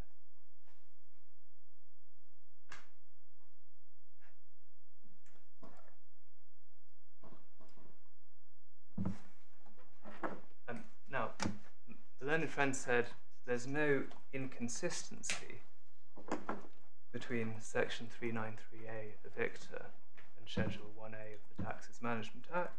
And um, at, at that level of generality, I agree with him, but it doesn't take you very far in answering the, the issue in this case. Um, he still has to explain why it is that the FTT should have taken into account the loss claim, the loss carryback claim, notwithstanding that paragraphs 58 to 59 tell you that it didn't touch the 2007 self assessment, and notwithstanding that it was the FTT's job to decide whether the, the company was over or undercharged by that 2007 self assessment. I, I think Friend's answer to that is effectively to say, well, never mind the fact that the taxpayer could not have amended the year one return. When you're sitting there as the FTT, or possibly even as HMRC, um, you just apply section 393A of ICTA and say, well, the earlier year profits shall be treated as reduced. Isn't his answer that the loss claim was for the whole of the loss in the first place? So there was nothing to amend. Um, I, th- I think the question about amending the Schedule 1A claim itself is, is something of a red herring. Um, the point is the, the carryback claim didn't touch the return for year one. Um, therefore, when the FTT is looking at whether the appellant was over or undercharged by the self assessment as amended, um, it shouldn't have taken account of the carryback claim. Um, that's what we say. And I think my learned friend says, well, no, the FTT uh, applies section 393A of ICTA, says what were the profits? Well, the profits are treated as reduced by the whole loss. Um, now, um, I, I, Can I? Yeah. I'm sorry. You place a lot of emphasis on what the tribunal's jurisdiction is under Section 50, and I just want to be sure I've entirely understood this. The process in this case is the taxpayer puts in a self-assessment, and we've seen that, yeah, and that produces a figure of 140,000, and tax payable of 40,000, which they pay. There's an inquiry in time by HMRC, which ultimately, and I think 2012 leads to a closure notice and increases the amount that that has the effect of amending the self-assessment, that, that's right. Yes, subject to appeal. that's right. The taxpayer appeals the FTT as they have a right to do. It's an appeal against the amount shown on the closure notice, is it? That's right. So when you say under section 50 subsection 6, on an appeal notified to a tribunal, the tribunal has to decide whether the appellant is overcharged or undercharged by a self-assessment. What it means there is the the assessment as amended by the closure notice. That, that's right. And that means if you appeal against the closure notice, you can, as in this case, find that your tax goes up. Yes, That's just a risk of the appellate process. that's right. Yeah. Thank you. But it had already gone up by that much in the closure notice, and it's an appeal against that increase. It, It, well, it went in- up, it went up by more. Yeah. Yes. Yeah. Yeah. Um, I- so I was saying that I think I think my learned friend says, well, never mind the FTT. Sitting there as the FTT, you can still say, well, I'm just applying section 393A1 of ICTA. Are treated as reduced. And I, I, I don't think I can kill that point by pure logic. Um, you, you could always say that.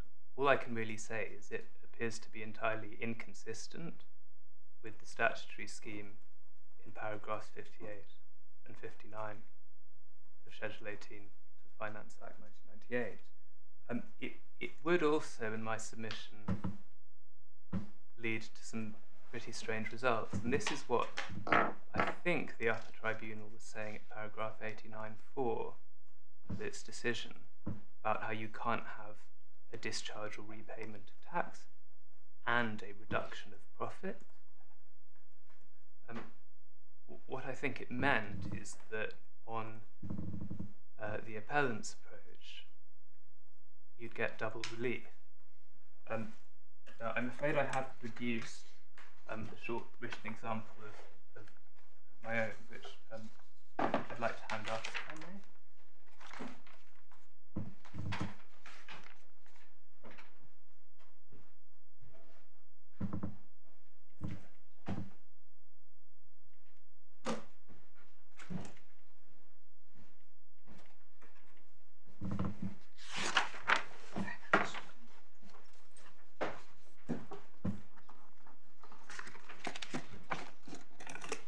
So I've, I've, Round numbers to make the maths more tractable.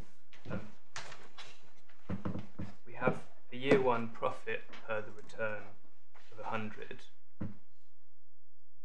a true year one profit of 300, uh, and a year two loss of 200. If we go through um, the steps chronologically, we can see what happened. Well, the first thing that happens is the company files its year one return self-assessing to corporation tax of 25% of 100 uh, and pays that.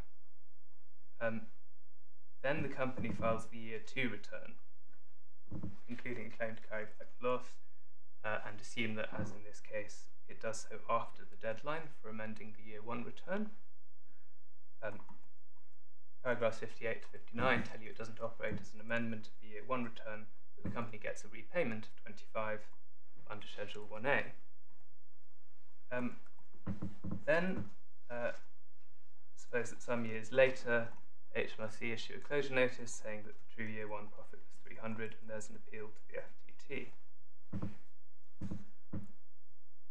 Now, on my learned friend's approach, the FTT, in deciding whether the company was over or undercharged to tax by that self assessment as amended, um, would have to say, well, we just apply section 393A1 of ICTA. The year one profits are treated as reduced by the amount of the year two loss. The year two loss is 200, um, and therefore the year one profit is 100.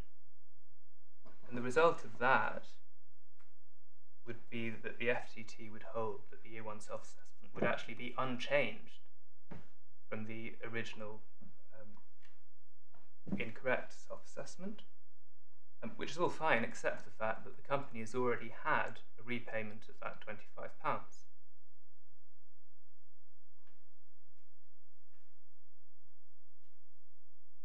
And so, in substance, the company would get relief against the entire year one profits of 300, despite the year two loss being carried back only being 200.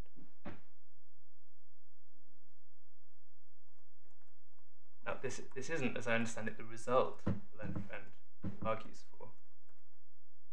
I think what he says is that at point four of this example, you just bring back the extra 100 loss rather than the whole 200 Because you've used up because part of you it used, already. you used up 100, 100 but uh, Well, you surely you've got to use the whole thing well, it- because it's a that's, it's that that's his argument. Three nine three A talks about the whole loss. that, that's that's my point. Uh, Yes. Alex. But if if you've got to if you've got to use the whole thing, you get double relief. Yeah. Um, And and there's no way of unwinding it by reference to paragraph thirty four. Um, the the way of unwinding it uh, would be an assessment under, I think it's paragraph fifty-two of Schedule eighteen recover a, to recover the repayment of twenty-five. Um, Is that time limited? it, it's time limited and also subject to the same conditions as applied to discovery assessments.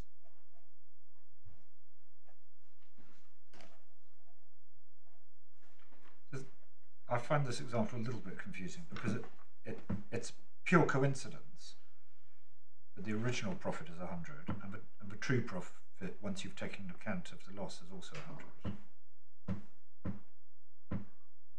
Yes. Uh, I mean, you've set it up so that the figures don't change. yes, I have.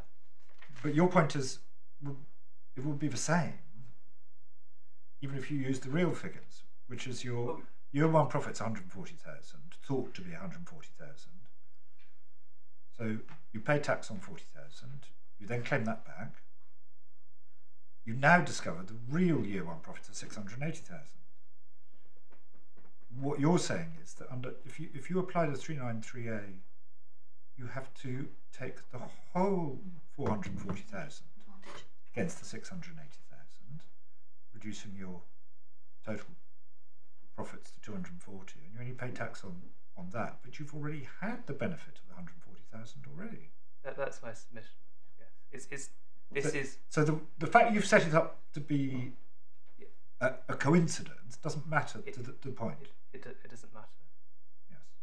Um, I, mean, I, I chose the numbers because they're round they're round numbers. Um, But you also chose the numbers so the assessment didn't change at all. But uh, that's your that's your point in four. yes, just but, but only because that makes it slightly easier to see see the point. It's the, it's the same it's the same, Same point. point. Yes. There's still there's still double counting.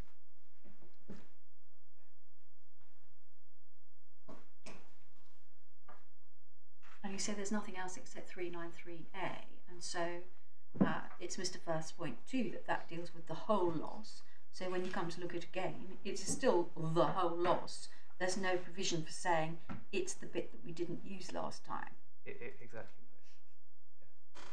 Yeah. Uh, and obviously, I submit that the result of this example cannot be right.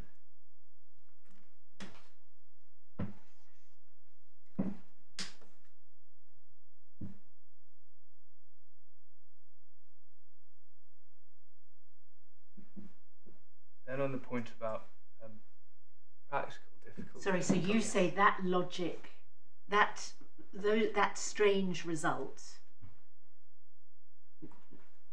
is the answer to why you don't use 393 um, and and your jurisdiction is the jurisdiction in section 50 is that Well, that, that's right. I, say that this, this strange result appears to follow from Learned Friend's approach, and that's an indication that the approach is wrong.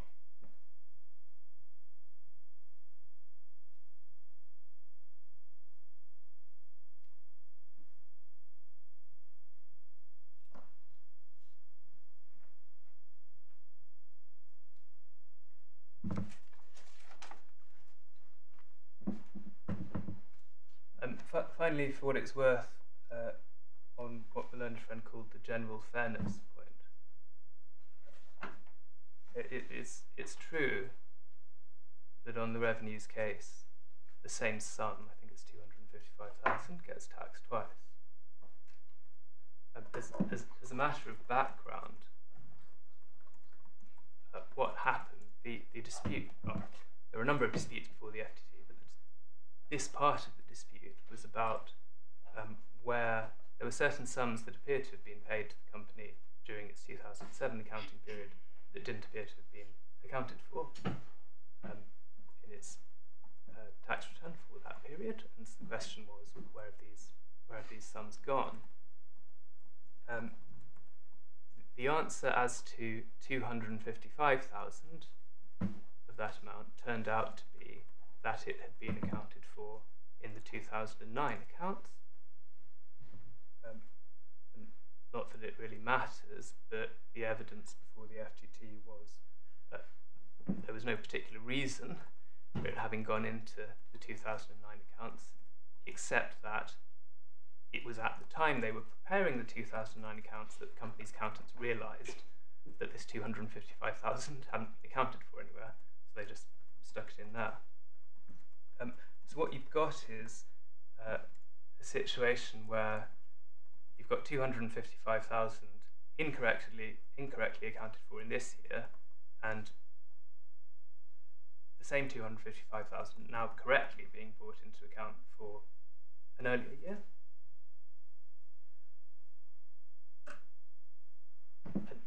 Normally, the company would be able to um, make a claim to the effect that it had overpaid tax in the 2009 accounting period. I mean, it might actually have been an overpayment in a subsequent accounting period because in 2009 it would have been covered by the, the carry forward.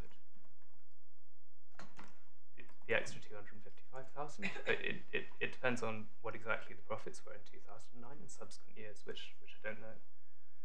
Um, but the point is, there's been an over, there's been an overpayment in one or more subsequent years, um, Are time limits? and and there are time limits. But that, that's the point. The company's just out of time to reclaim that overpayment.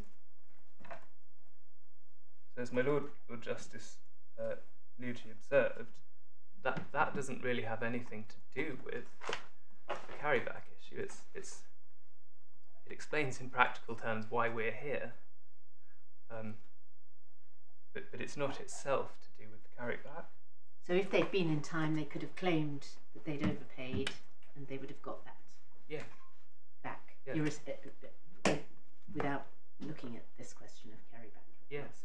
Uh, especially when one bears in mind that at the time the 2009 uh, return was submitted, there was an open inquiry into the 2007 return, the main subject matter of which is where's this extra money gone to?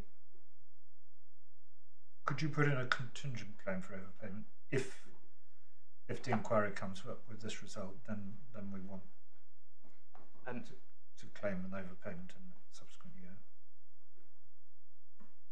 I, I would need to check that, but I think in on the facts of this case it would be even simpler because um, that there was no real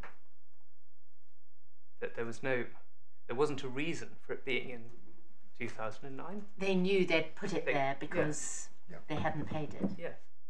they could have just said, well, um, part of the answer to your question, revenue, is that actually this 255,000 we we put in 2009. So put it back into 2007 if you like, and then give us the the 2009 tax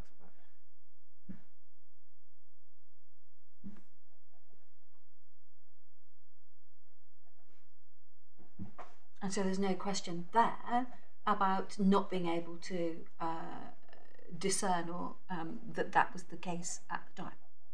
No.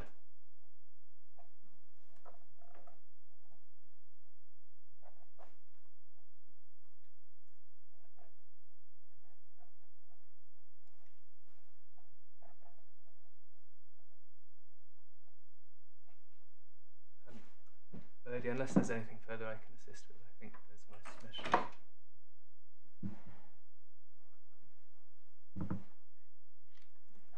Thank you so much. Uh, no, Mr. Bradley, thank you for your submissions. Uh, Mr. Firth. Thank you very much.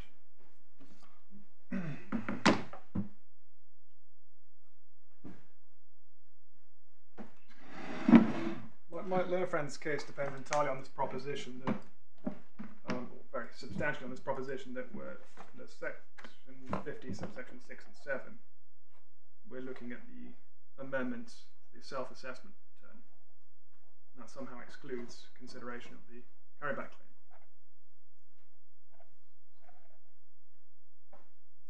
problem with that is that whether or not taxpayer is undercharged or overcharged depends on the correct profit figure for that year.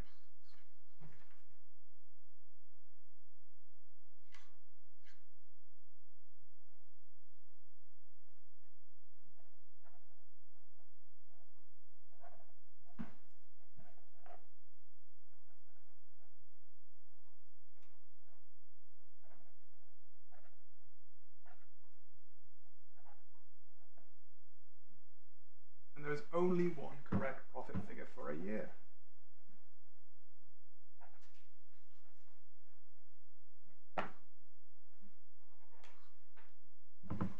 By requiring the tribunal to come up with the correct profit figure, single correct profit figure, you have to apply all the provisions that both bring amounts into tax, which is what HMRC rely on to say, well, these are amounts that should have been brought into account as profit, and amounts that reduce profit.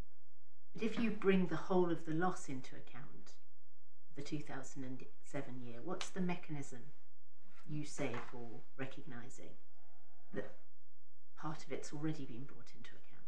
So this is my learned friend's example. If we could pick up my example, please, because what my learned friend says doesn't go through methodically and look at each stage. So on page two, well, if we look at the end of page one, in fact, by the, by the end of the original um, position, the tax paid for year one is zero. Why is it zero? Because the tax originally paid has been repaid. So you paid no tax for year one now. That carries forward to the, the position following the FTT amendment. And the critical line my learner friend overlooks is line three. So you've got additional profit found by the FTT. You then amend it to 300,000 and the, you, you bring forward the tax already paid, which is now zero. And then you do your loss relief claim, and your taxable profit, in my example, is zero. My learner friend uses a slightly different example. So his loss is the equivalent of 200,000. So if we amend the line 4 to 200,000 and line 5 to 200,000, But what's the mechanism? I, I before we look at numbers, what's the mechanism? What what's the statutory provision that enables the FTT to take account of the fact that only part of the loss is now being set against that's what I'm showing you. The, the FTT takes account of the the full whole loss. loss? But because you've already had repayment of the tax for year one, when in my friend's example, at the end of the process, you end up with a hundred pounds profit, the answer is how much tax have you paid on that? Zero. So you need to pay the tax on that. But, but what's the mechanism? What what's the provision that en- enables the FTT to make that adjustment? Because it, it, my learner friend refers you to the to section 50, subsection 6, which says the, the tribunal to decide whether you're overcharged or undercharged. That's overcharged by reference to the whole gamut of taxing statutes which give you the profit figure. That I mean that that's the argument we were having in the first tier tribunal here on a number of different levels. What was the correct profit figure for that year? There's only one correct profit figure. There's not two profit figures, one for the purpose of Schedule 1A claim and another outside of the Schedule 1A claim. Applying the tax and statutes together, there is one single correct profit figure. And so you you that when deciding whether overcharged or undercharged, the tribunal brings into account that one single correct profit figure, which it decides upon by applying, as I said, the full gamut of those increasing, decrease. And it, that's why you get at step two of my example, the three, full 300,000. So you, it's not that the tribunal is saying, here's a, here's a bill for an extra 200,000 of profit. The tribunal is saying, your correct profit figure for that year is 300,000. Which takes into account both the profit you originally returned and the additional profit we've reached. if you then change to align with my learned friend's example, the loss in year two to £200,000, that changes both lines 4 and 5 to 200,000. And at line 6, the profit for year 1 consequent amount carried back is £100,000, which is where my learned friend's example lands. And the tax on that in my example is at 30%, so 30,000. And the tax payable will also be 30,000 because of line 3. You have not paid any tax for that year. You did originally, but you got it back. But now that we've found this correct position, total profit after full consideration of your claim, final profit figure is £100,000. You haven't paid any tax. You can't say, I'm relying on the tax I paid and you repaid to discharge that new bill. You haven't paid any tax. You got it back. And that's where the error is. It's at line 5, or row 5 of my learned friends example, where he says, well, because you paid tax and got it back, for some reason you don't have to pay tax on the 100,000, his example, £100 the tribunal's found. My, my response to that is, is, is at line 3. No, you've paid no tax for year 1. Therefore, you must pay tax for year 1 on the profit, the true profit, found by the tribunal. He set up the example so that there was nothing to change and the, the, the overall assessment remains the same. Mm. So the FTT decides that, on his example, the amount originally shown of £25 is still the amount shown. Mm. And he says that £25 has been paid because you haven't changed anything. And you say it hasn't been paid because it was paid and then it's been repaid. And then Exactly. how how do the revenue claim it? When does it become due? What's the what's the what's the provision under which it, it becomes a, a debt? The provision, because the end result of the FTT process is that you've got a profit now of £100,000 that year and nothing to set against it. Nothing to discharge it, nothing to, to claim a repayment. Okay. And my friend, I mean, mean that that well, say that must be right. But given that you've paid the tax for year one and now you've been found to have profit for year one that hasn't on which tax hasn't been paid, then you, you have to pay the tax. I mean, we could take you to the specific provisions, but not they're not here. But but by virtue of the fact that the tribunal's found you've got profit of X amount, the assessment will follow at whatever the tax rate is on that profit. You haven't paid any tax. That's the key bit my respectful submission my learned friend misses, is that you haven't paid tax anymore. And that's fine in a world where HMRC don't amend the return, because then you, you, you, you just followed 393A, reduced the profit, and you followed Schedule 1A and you've repaid the tax. Nothing's going to disturb that situation. That's, that's fine. It's because HMRC come in and disturb the situation with their amendments, then the tribunal is tasked with finding the one true correct profit figure for that year. And the consequences flow from that, both as to the loss relief, which is taken into account the amount you've already claimed, because you don't you've already had the benefit of the repayment. And therefore you don't get that repayment again, or you are treated as not paying any tax. So it, it all works through, and the strange result that my learned friend relies upon doesn't arise.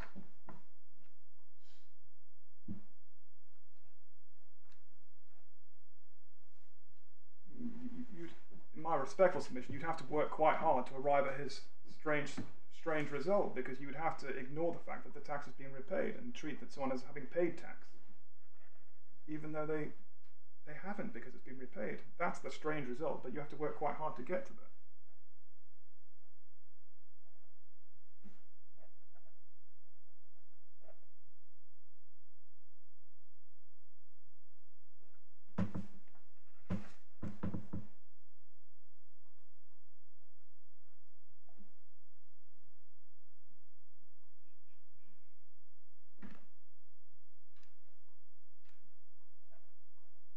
and it, it was striking the points my learned friend didn't deal with because they show in my submission that his the result he argues for is is unpalatable and unlikely to be intended by Parliament.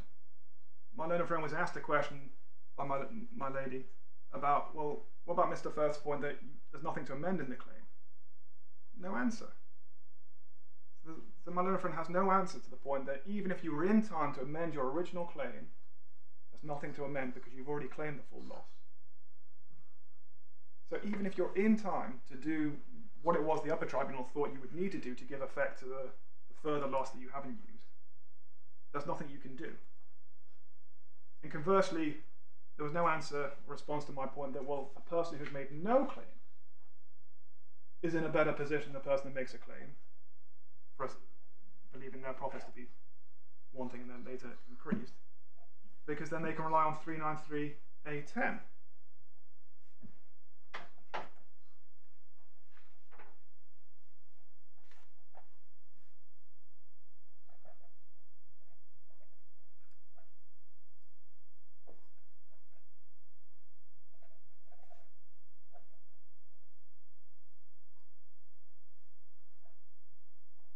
These- These are big problems because there has to be an overall workable scheme. It's, it's not enough in my respectful submission to come to this case, hone in on what he says the facts of this case, and not worry about what the facts of other cases might be to check that the scheme overall works in relation to claims for carryback under 1A.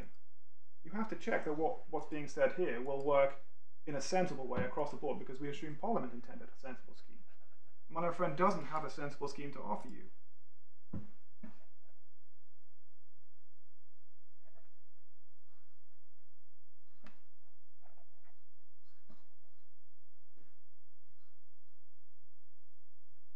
it, it is equally quite difficult to explain why the difference should be so fundamental based on whether you happen to make your loss carryback claim within the period for amending the early return or outside. I mean, the, the, the, the, the time limit in section 393A is two years.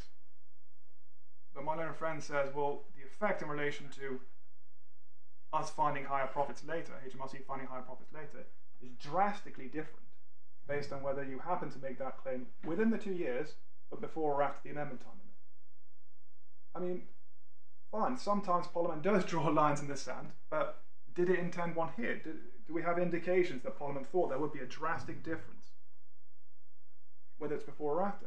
And as I've just said, my learned friend can't even show you any mechanism in relation to a claim made after the time limit for amending the tax return for giving further effect to the claim. Parliament can't have intended that. And therefore, that calls into question my whole, my learned friend's whole um, thesis about the way the scheme works.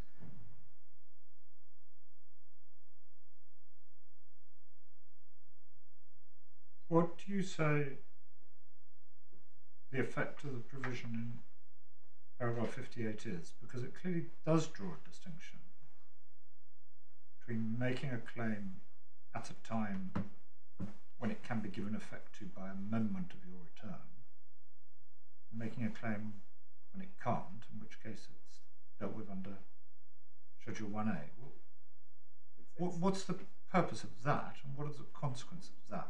The purpose of that is simply that if you're within time to amend the claim, it treats it as within the return, and therefore the inquiry mechanisms relating to amendments to returns apply, which are not particularly different to the Schedule 1A inquiry mechanisms, but nevertheless, the claim can then be inquired into as part of a composite inquiry into the return, if HMRC disagree with the loss claim. If, HM, if, if you're under Schedule 1A, then there has to be a separate specific inquiry into the claim. It's procedural. And it may well be more convenient for HMRC to look into a claim as part of looking into a return as a whole, and therefore it's treated as being an amendment to return if you're in time to amend. But that's as far as it goes in my submission. It'd be quite astonishing if that happenstance, and it is happenstance, as to whether within the two year time limit Parliament's laid down for making this claim, there is this cliff edge as to whether you can have any potential um, safety in relation to further profits being brought into account. And that you just don't get that from the from the legislation. There's nothing that tells you to switch off 393A when you're looking for the true profit figure for that year.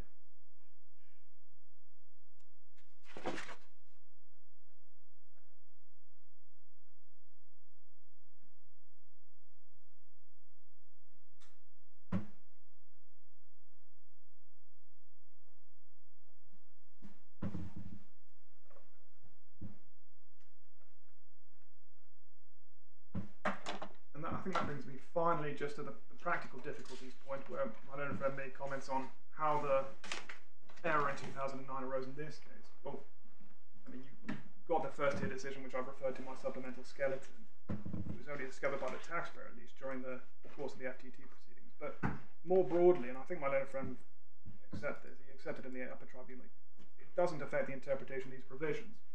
The interpretation in this case obviously has to apply irrespective of what the position is in relation to future years um, or the particular circumstance of the taxpayer. And you can imagine many examples of unfairness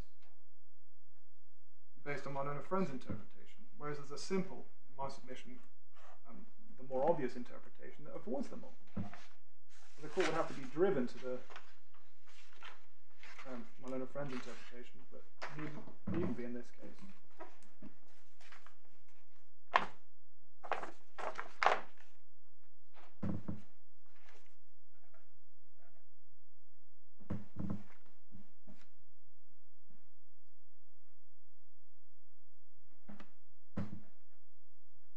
Unless I can give further assistance those the submissions in reply.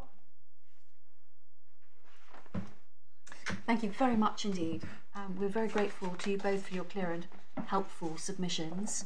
Um, uh, we will reserve our judgments. You'll be fully aware of the procedure in this court.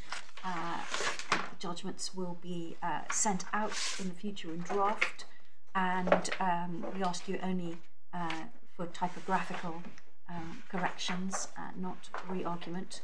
Um, we just would like to remind you uh, in relation to the embargo, and uh, therefore that draft should not go beyond the individuals who've already been named, um, and the names have been provided to our clerks. Um, so take great care in relation to that. Um, and as you'll also appreciate uh, consequential matters, uh, we hope that you will be able to agree. And if you can't, um, as usual, uh, please make uh, written submissions, short written submissions, uh, and they will be dealt with um, by us on paper. Thank you very much indeed.